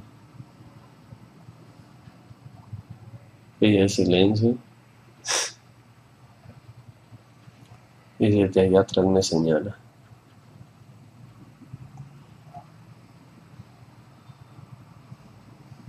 Y me dice, Claro, Rusín que siempre. Imponiendo el desorden y la indisciplina. La razón que todos se portan mal si es que usted impone la disciplina, la indisciplina. Usted debería salirse de aquí.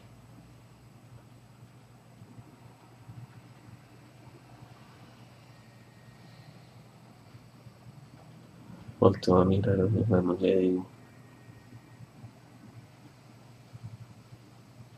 ¿yo qué estoy haciendo? Yo no estoy haciendo nada. Yo estoy quieto, estoy callado. Al lado del hermano mayor, pues uno se porta bien. Yo no he hecho nada, no estoy haciendo nada, estoy callado. Y como si tiene buena imagen en ese colegio. Lo señalan a él y le dicen, ¿ese es su hermano?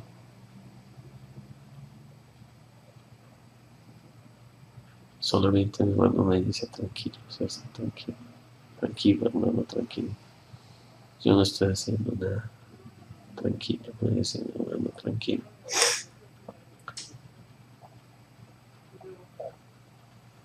Me sentí muy mal ese día. Todo el mundo volteó a mirar para atrás. Ok, te voy a poner un ejemplo. Imagina que me consigo 10 amigos y me pongo de acuerdo con ellos para que digan varias cosas de mí si es que lo que dicen de uno lo cambia. El primer día les digo, digan que de mí que soy millonario. Y todos empiezan, Aurelio es millonario, Aurelio es millonario. Al final de la tarde, no te imaginas el millonario mejor que tú puedas conseguir. Al otro día les digo, bueno muchachos, van a decir que mi salud es espectacular.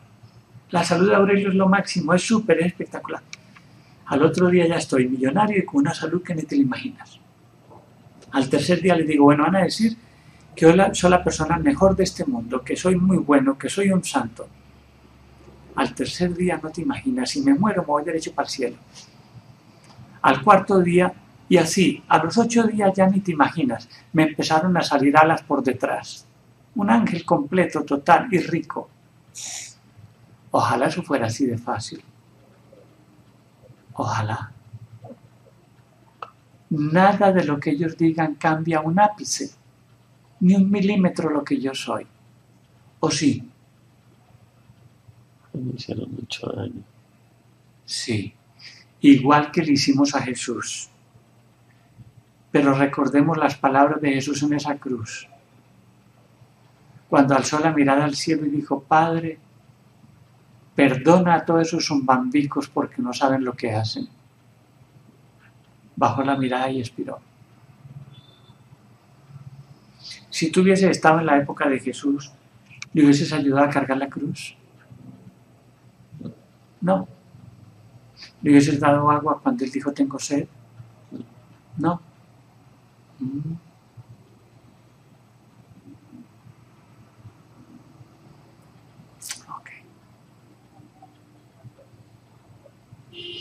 Ahora yo quiero preguntarle a él si él estaría dispuesto a hacerlo por ti. Y la respuesta va a llegar a tu mente.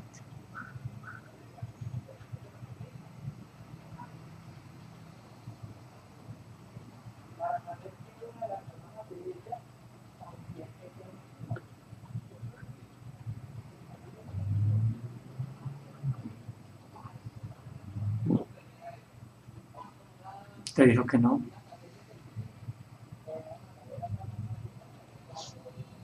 Te dijo que no cargaría la cruz por ti.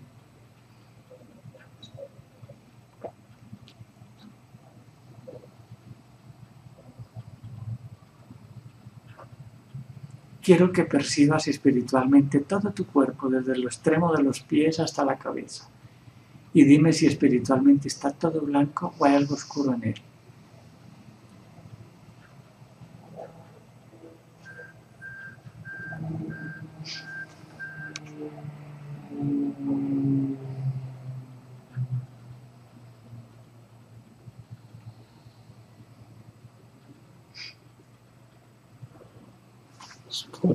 ¿Está oscuro en qué parte?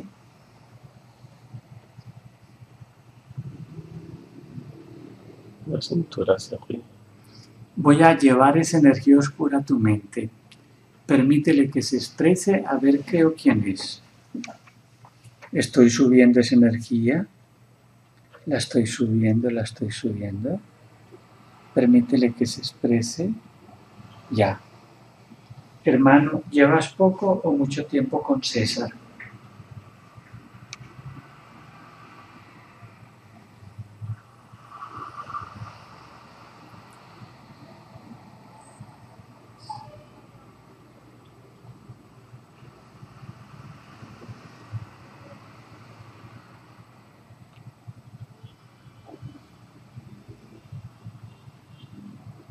¿Puedo saber por qué estás con César?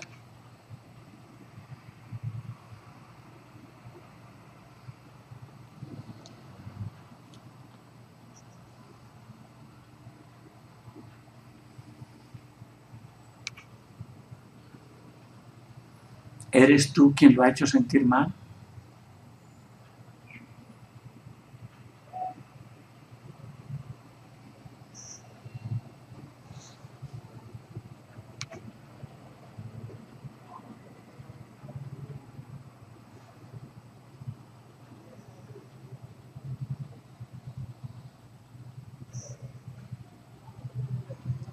habéis causado en César tristeza bloqueo económico.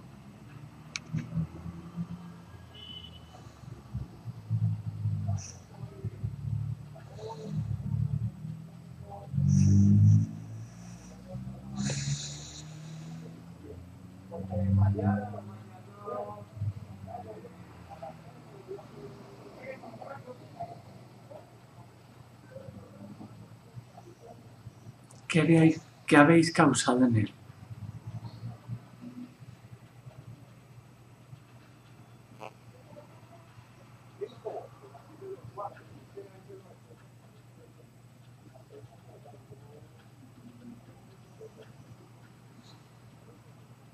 Quisieras que César te perdone hoy?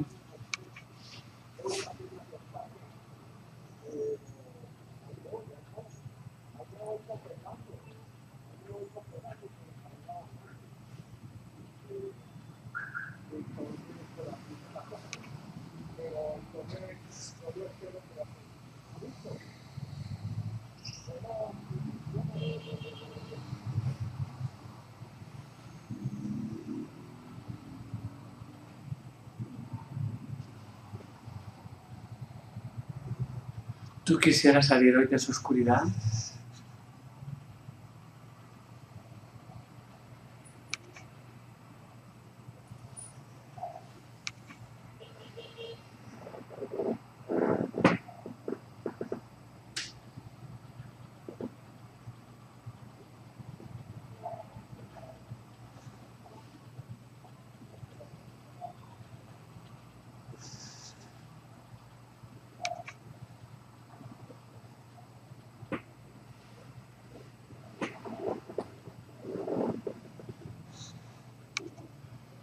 ¿Eres tú quien le ha causado a él esos choques eléctricos, esos corrientazos en el cuerpo?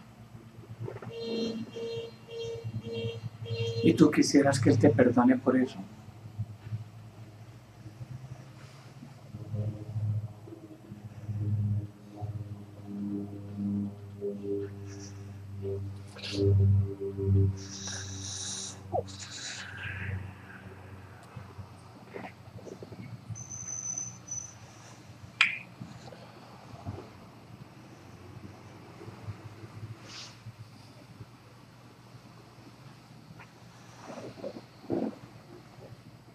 ¿Para qué le causabas esos choques, esos corrientazos?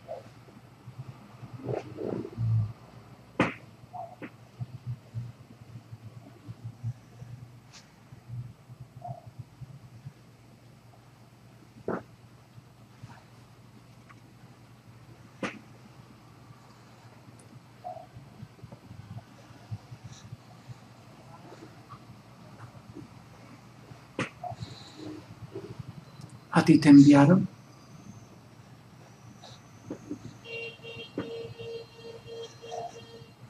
Perdonas a quien te envió y te perdonas a ti por bobo, siendo espíritu que podías ir con libertad hacia la luz, quedarte aquí en esta oscuridad. Bobo.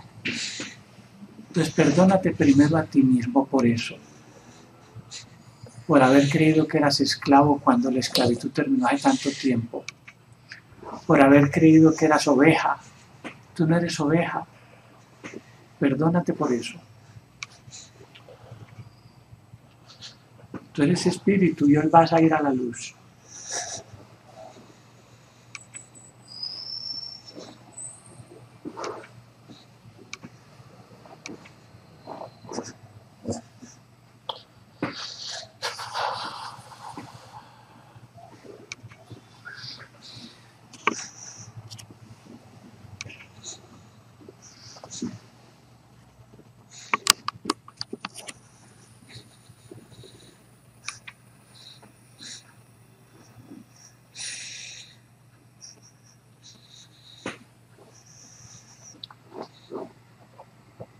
¿Ya te perdonaste? Si tú no te perdonas, ¿quién más te va a perdonar? Si el único bobo fuiste tú, por haberte dejado poner, por haberte dejado manipular, por haberte dejado enviar. No, tú no eres un chicle para que te le estés pegando a nadie. Tú eres un espíritu.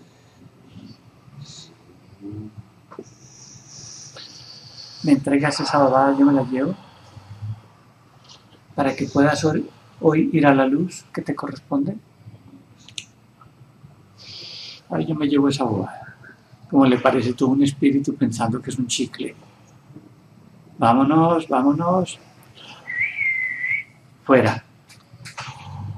Ahora quisieras que César te perdone por todos aquellos momentos que consciente o inconscientemente afectaste su proceso.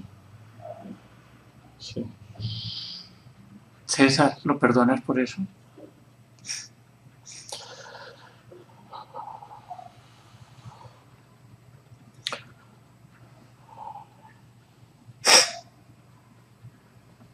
Él va a seguir hoy su camino hacia la luz que le corresponde. Pero lo hará más tranquilo si tú lo perdonas.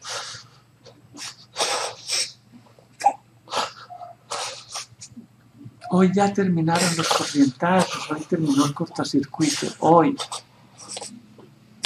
El ayer ya pasó, ya no se devuelve.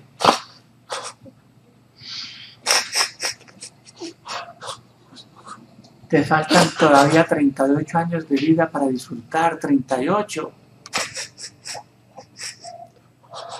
Entonces disfruta los 38 que te faltan, con amor, con alegría, con felicidad.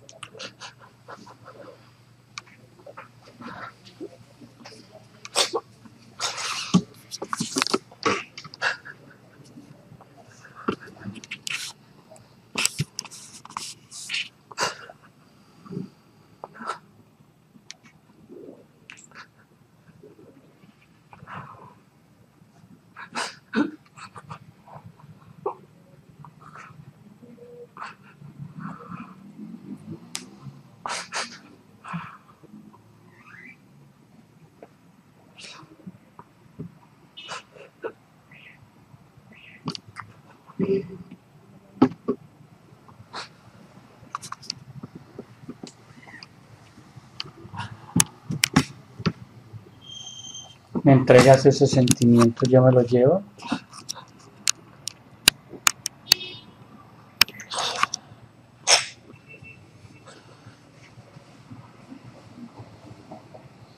¿Me lo entregas? ¿Lo cojo? ¿Me lo llevo?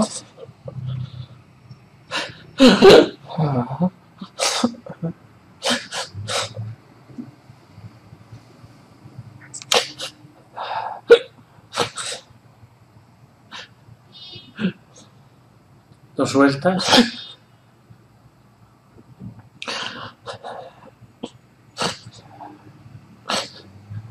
¿O lo quieres tener ahí los 38 años que te faltan de vida? Lo puedes hacer si quieres. Que dentro de 38 años, ese gordo que maneja el horno de cremación se encarga de soltar eso. Él enciende esa chispa, abre la llave del gas y a los 10 minutos ya no hay nada, solo ceniza.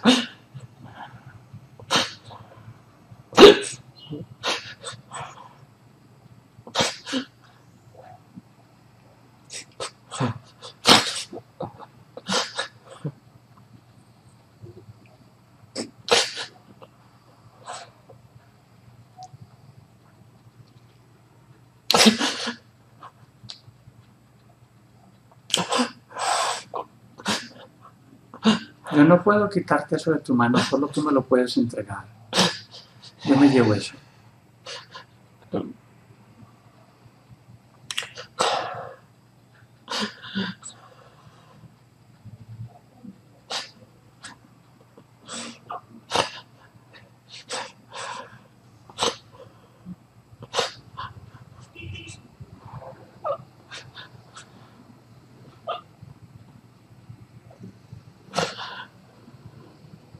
¿Me lo entregas?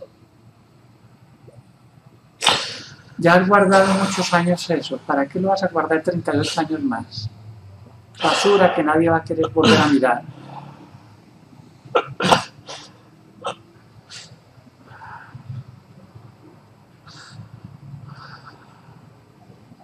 Entonces abre la mano y entrégamelo.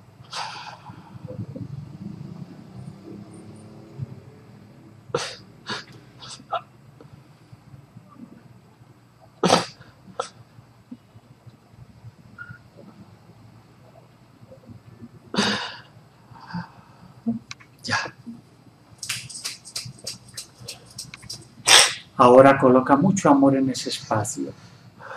Coloca luz. Y déjame hablar otra vez con este hermano espiritual. Hermano, ¿quieres seguir ya tu camino hacia la luz que te corresponde?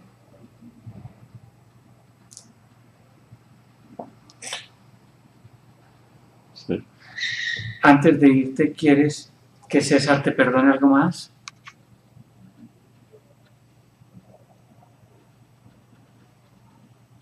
Es mucho. Le hice mucho daño. ¿Puedo saber qué daño le hiciste? Mucho. Muchos. ¿Tenías algo que ver con los bloqueos de él? Sí. Bueno, entonces vete en paz que ya César te perdonó. Sigue tu camino hacia la luz. Que el amor del universo te acompañe siempre. Vamos, retira todas las energías que tengas en este cuerpo, en otros lugares, en otros cuerpos, y llévalas a la luz. Sigue tu camino. Vete en paz.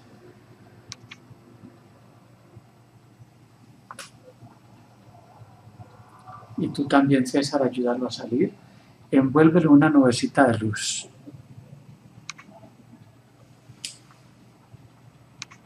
Cuando haya salido por completo me dices.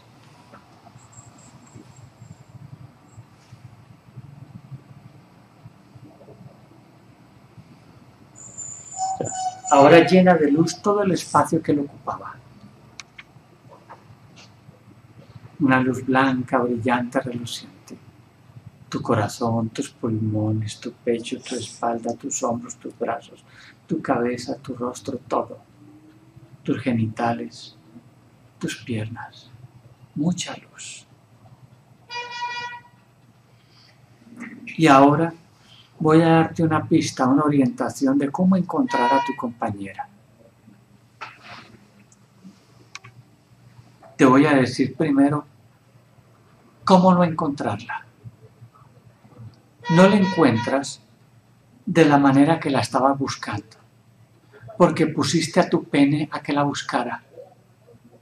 Y tu pene buscó por donde él sabe buscar, por las vaginas. Y allá no la vas a encontrar, porque esas vaginas por dentro son oscuras. Y a veces, no siempre, malolientes. Allá no la vas a encontrar. No pongas a tu pene a buscarla. De eso se encarga tu corazón. Deja que sea tu corazón el que la encuentre. Ese era el error que estabas cometiendo, por eso no la encontrabas.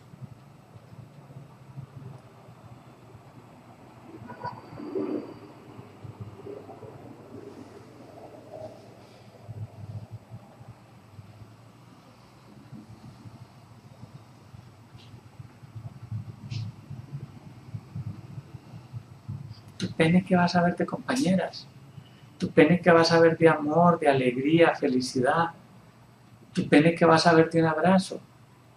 Él es experto en vaginas, pero no más.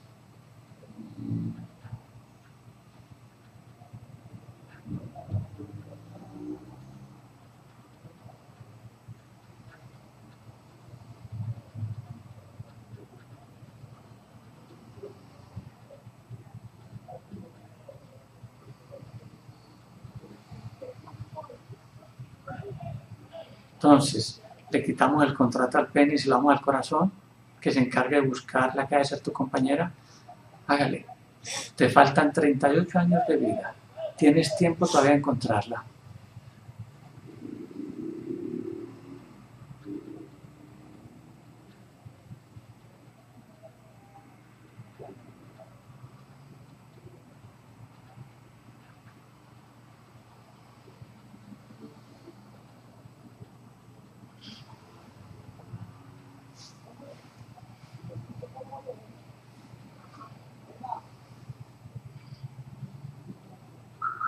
Por eso es que antes veías espermatozoides volando.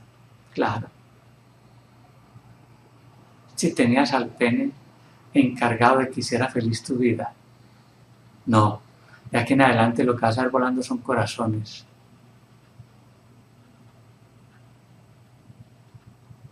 Alegría, felicidad.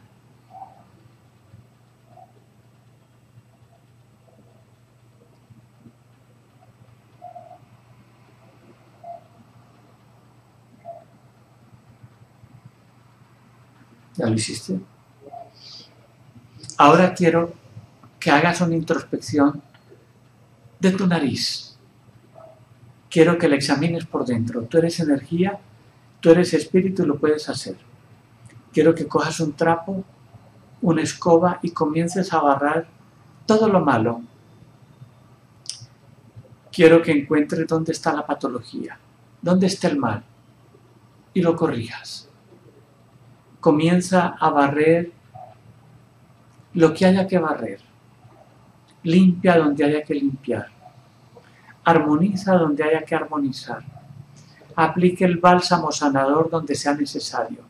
Es un bálsamo anestésico, cicatrizante, reparador, restaurador de energías. Es un bálsamo que sana. Y comienza a limpiar cada partícula sensible de tu nariz. Limpia cada nervio, cada vasito sanguíneo, cada fibra de tu nariz, hasta dejar todo brillante, reluciente. Donde haya que armonizar las energías, armonízalas. Donde haya que insensibilizar, insensibiliza. Donde haya que desconectar, desconecta.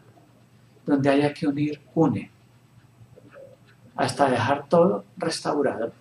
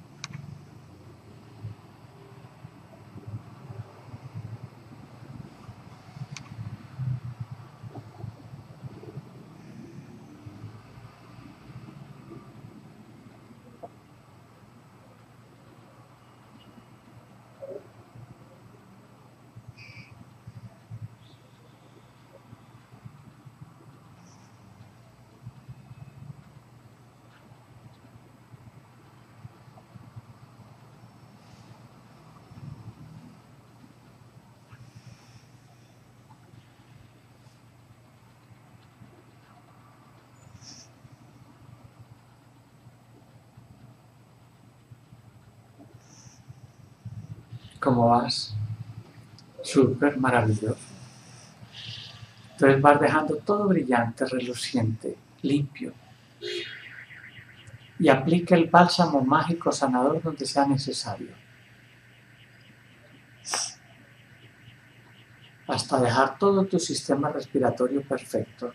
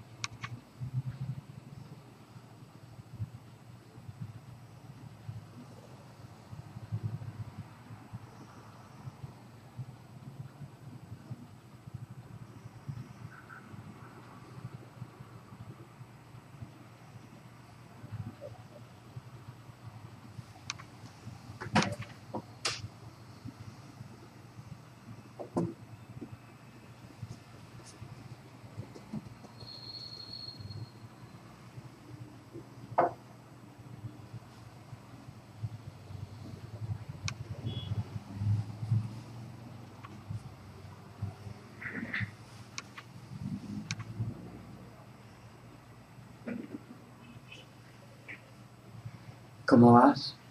Mm. Súper maravilloso.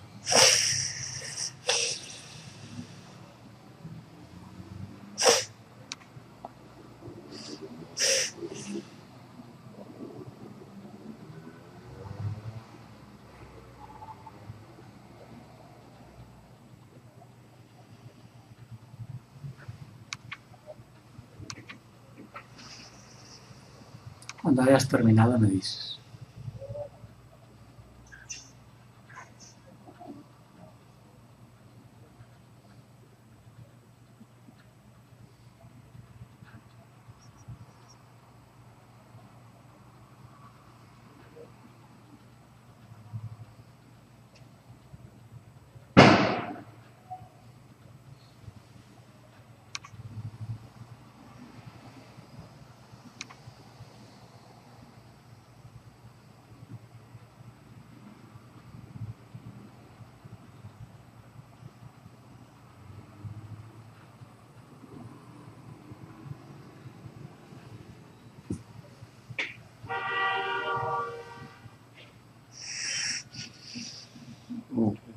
Ya.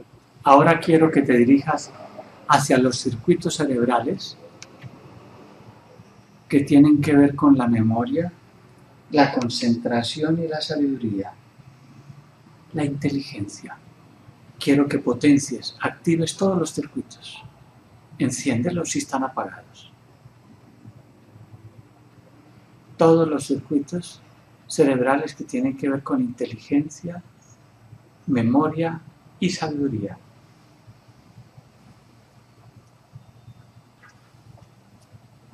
Actívalos, potencialos, energízalos.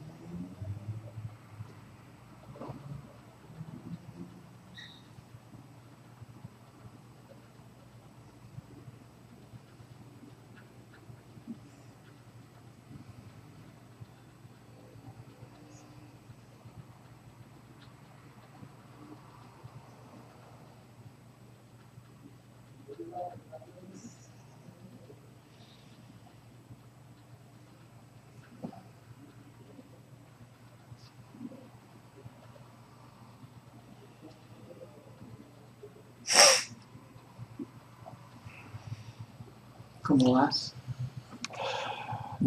Maravilloso. Cada uno de los circuitos que tenga que ver con eso, actívalo. Y si es necesario aplicar el bálsamo mágico ese que tú usas, aplícalo.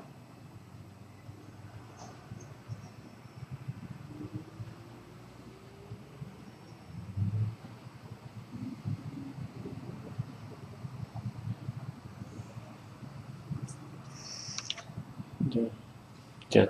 Ya. Ahora quiero que hagan lo mismo con la zona donde estaba el bloqueo económico.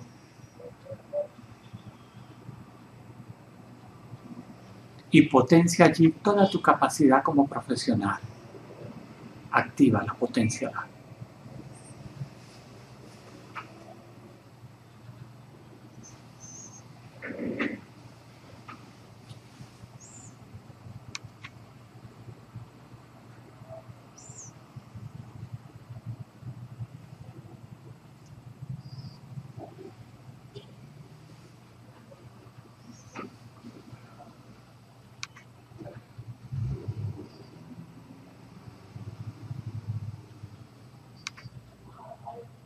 Y potencia también la intuición.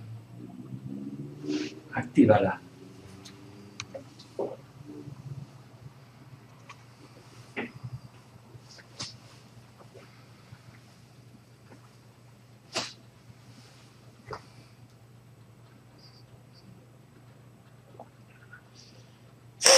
Y despierta a ese campeón que hay en ti ese campeón que hace 52 años, 9 meses ganó esa competencia contra miles y miles de espermatozoides y tú fuiste el más veloz, el más inteligente, el mejor estratega. O sea que cuando llegaste al planeta Tierra llegaste como un campeón, un triunfador, un luchador. Pues despiértalo, actívalo porque eso está en los genes.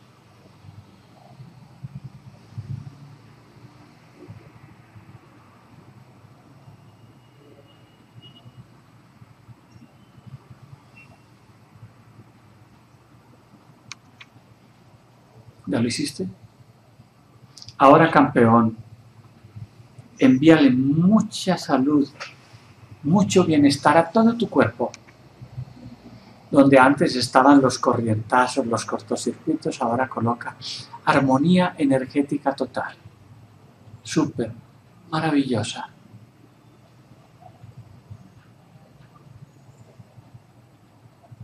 Y te sientes lleno de luz lleno de paz, lleno de amor. Y cada día vas a estar más y más lleno de toda esa luz, de esa armonía, de esa inteligencia, de esa sabiduría. Y cada noche al acostarte, cuando pongas la cabeza en la almohada y cierres los ojos, dormirás fácil y profundo hasta el otro día, hasta la hora normal de despertar. Y tus sueños, cuando los tengas, serán agradables, profundos, reparadores. Y cada día al despertar sentirás ese campeón que hay en ti, ese triunfador. Sentirás esa motivación para ir a trabajar, poner en práctica tu inteligencia, tu sabiduría, tu profesión. Ahora, campeón, ¿consideras que estás preparado para regresar a disfrutar de esos últimos 38 años de vida que te faltan?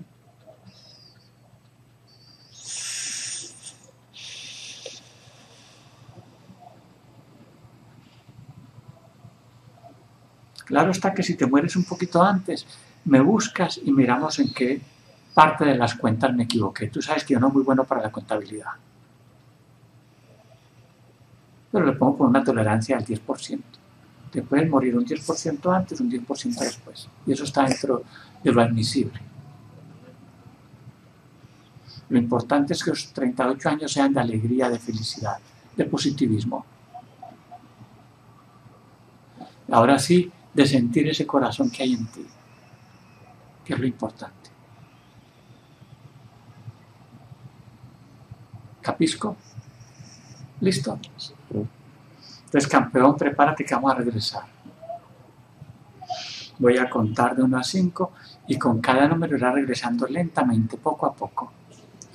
Pero antes de empezar la cuenta, quiero que vuelvas a percibir espiritualmente todo tu cuerpo, desde el extremo de los pies hasta la cabeza, y me diga si espiritualmente lo percibes todo blanco.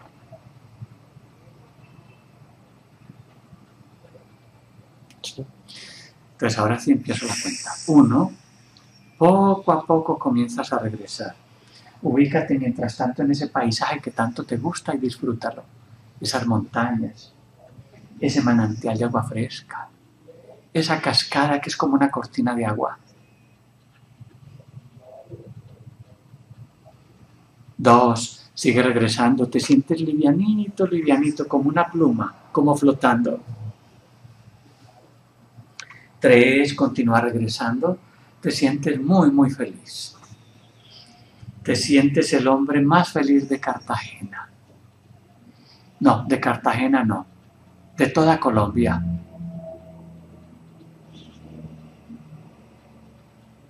Cuatro, sigue regresando. Preparado. Vas a despertar muy feliz y cada vez estar más feliz. Cinco, despierta.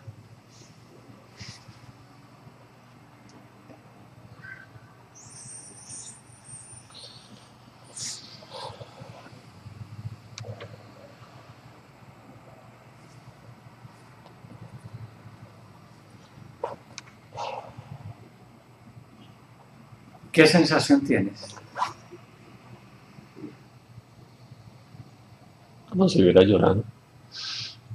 Y fue que lloraste. Liberaste una cantidad de carga emocional grande.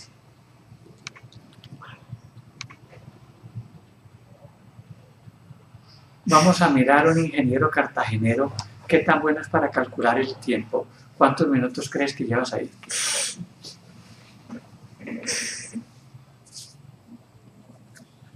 No sé, 45 minutos. Voy a mirar el reloj, es y quieto ahí. Una hora 24 minutos. ¿Qué más sensación tienes? Oh, siento tranquilo, más liviano.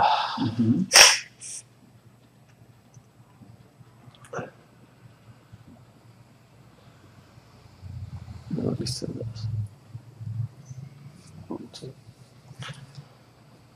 Como si hubiera hecho mucha fuerza. Vas a mirar en el vídeo la fuerza que hiciste. Apretabas esos puños con fuerza. Que me este brazo acá. Claro. Primero la posición tanto rato, hora y media ahí, casi. No, pues duele como si lo hubiera tenido todo el tiempo así. Segundo, Doblado. la tensión muscular que estabas haciendo. Y emocionalmente, ¿qué sientes? No, más tranquilo, me siento tranquilo. Siento bien. ¿Recomiendas esta experiencia a otras Ah, sí, personas? claro. Sí, por supuesto que sí. Cubriendo digitalmente tu cuerpo, que no te veas quién eres. Incluso dije que eras un ingeniero cartagenero, Siento calor. ¿no? Siento calor. Ujú, Ya enseguida prende el aire. Cubriendo tu cuerpo digitalmente, ¿permites compartir la experiencia? Ah, sí, claro. Entonces, digamos la fecha, pero no te muevas, porque es más fácil cubrirte si no te mueves. La fecha hoy es Eh, 16. 16 de julio de 2003. Medellín, Colombia. Estamos con un ingeniero cartagenero. Quédate.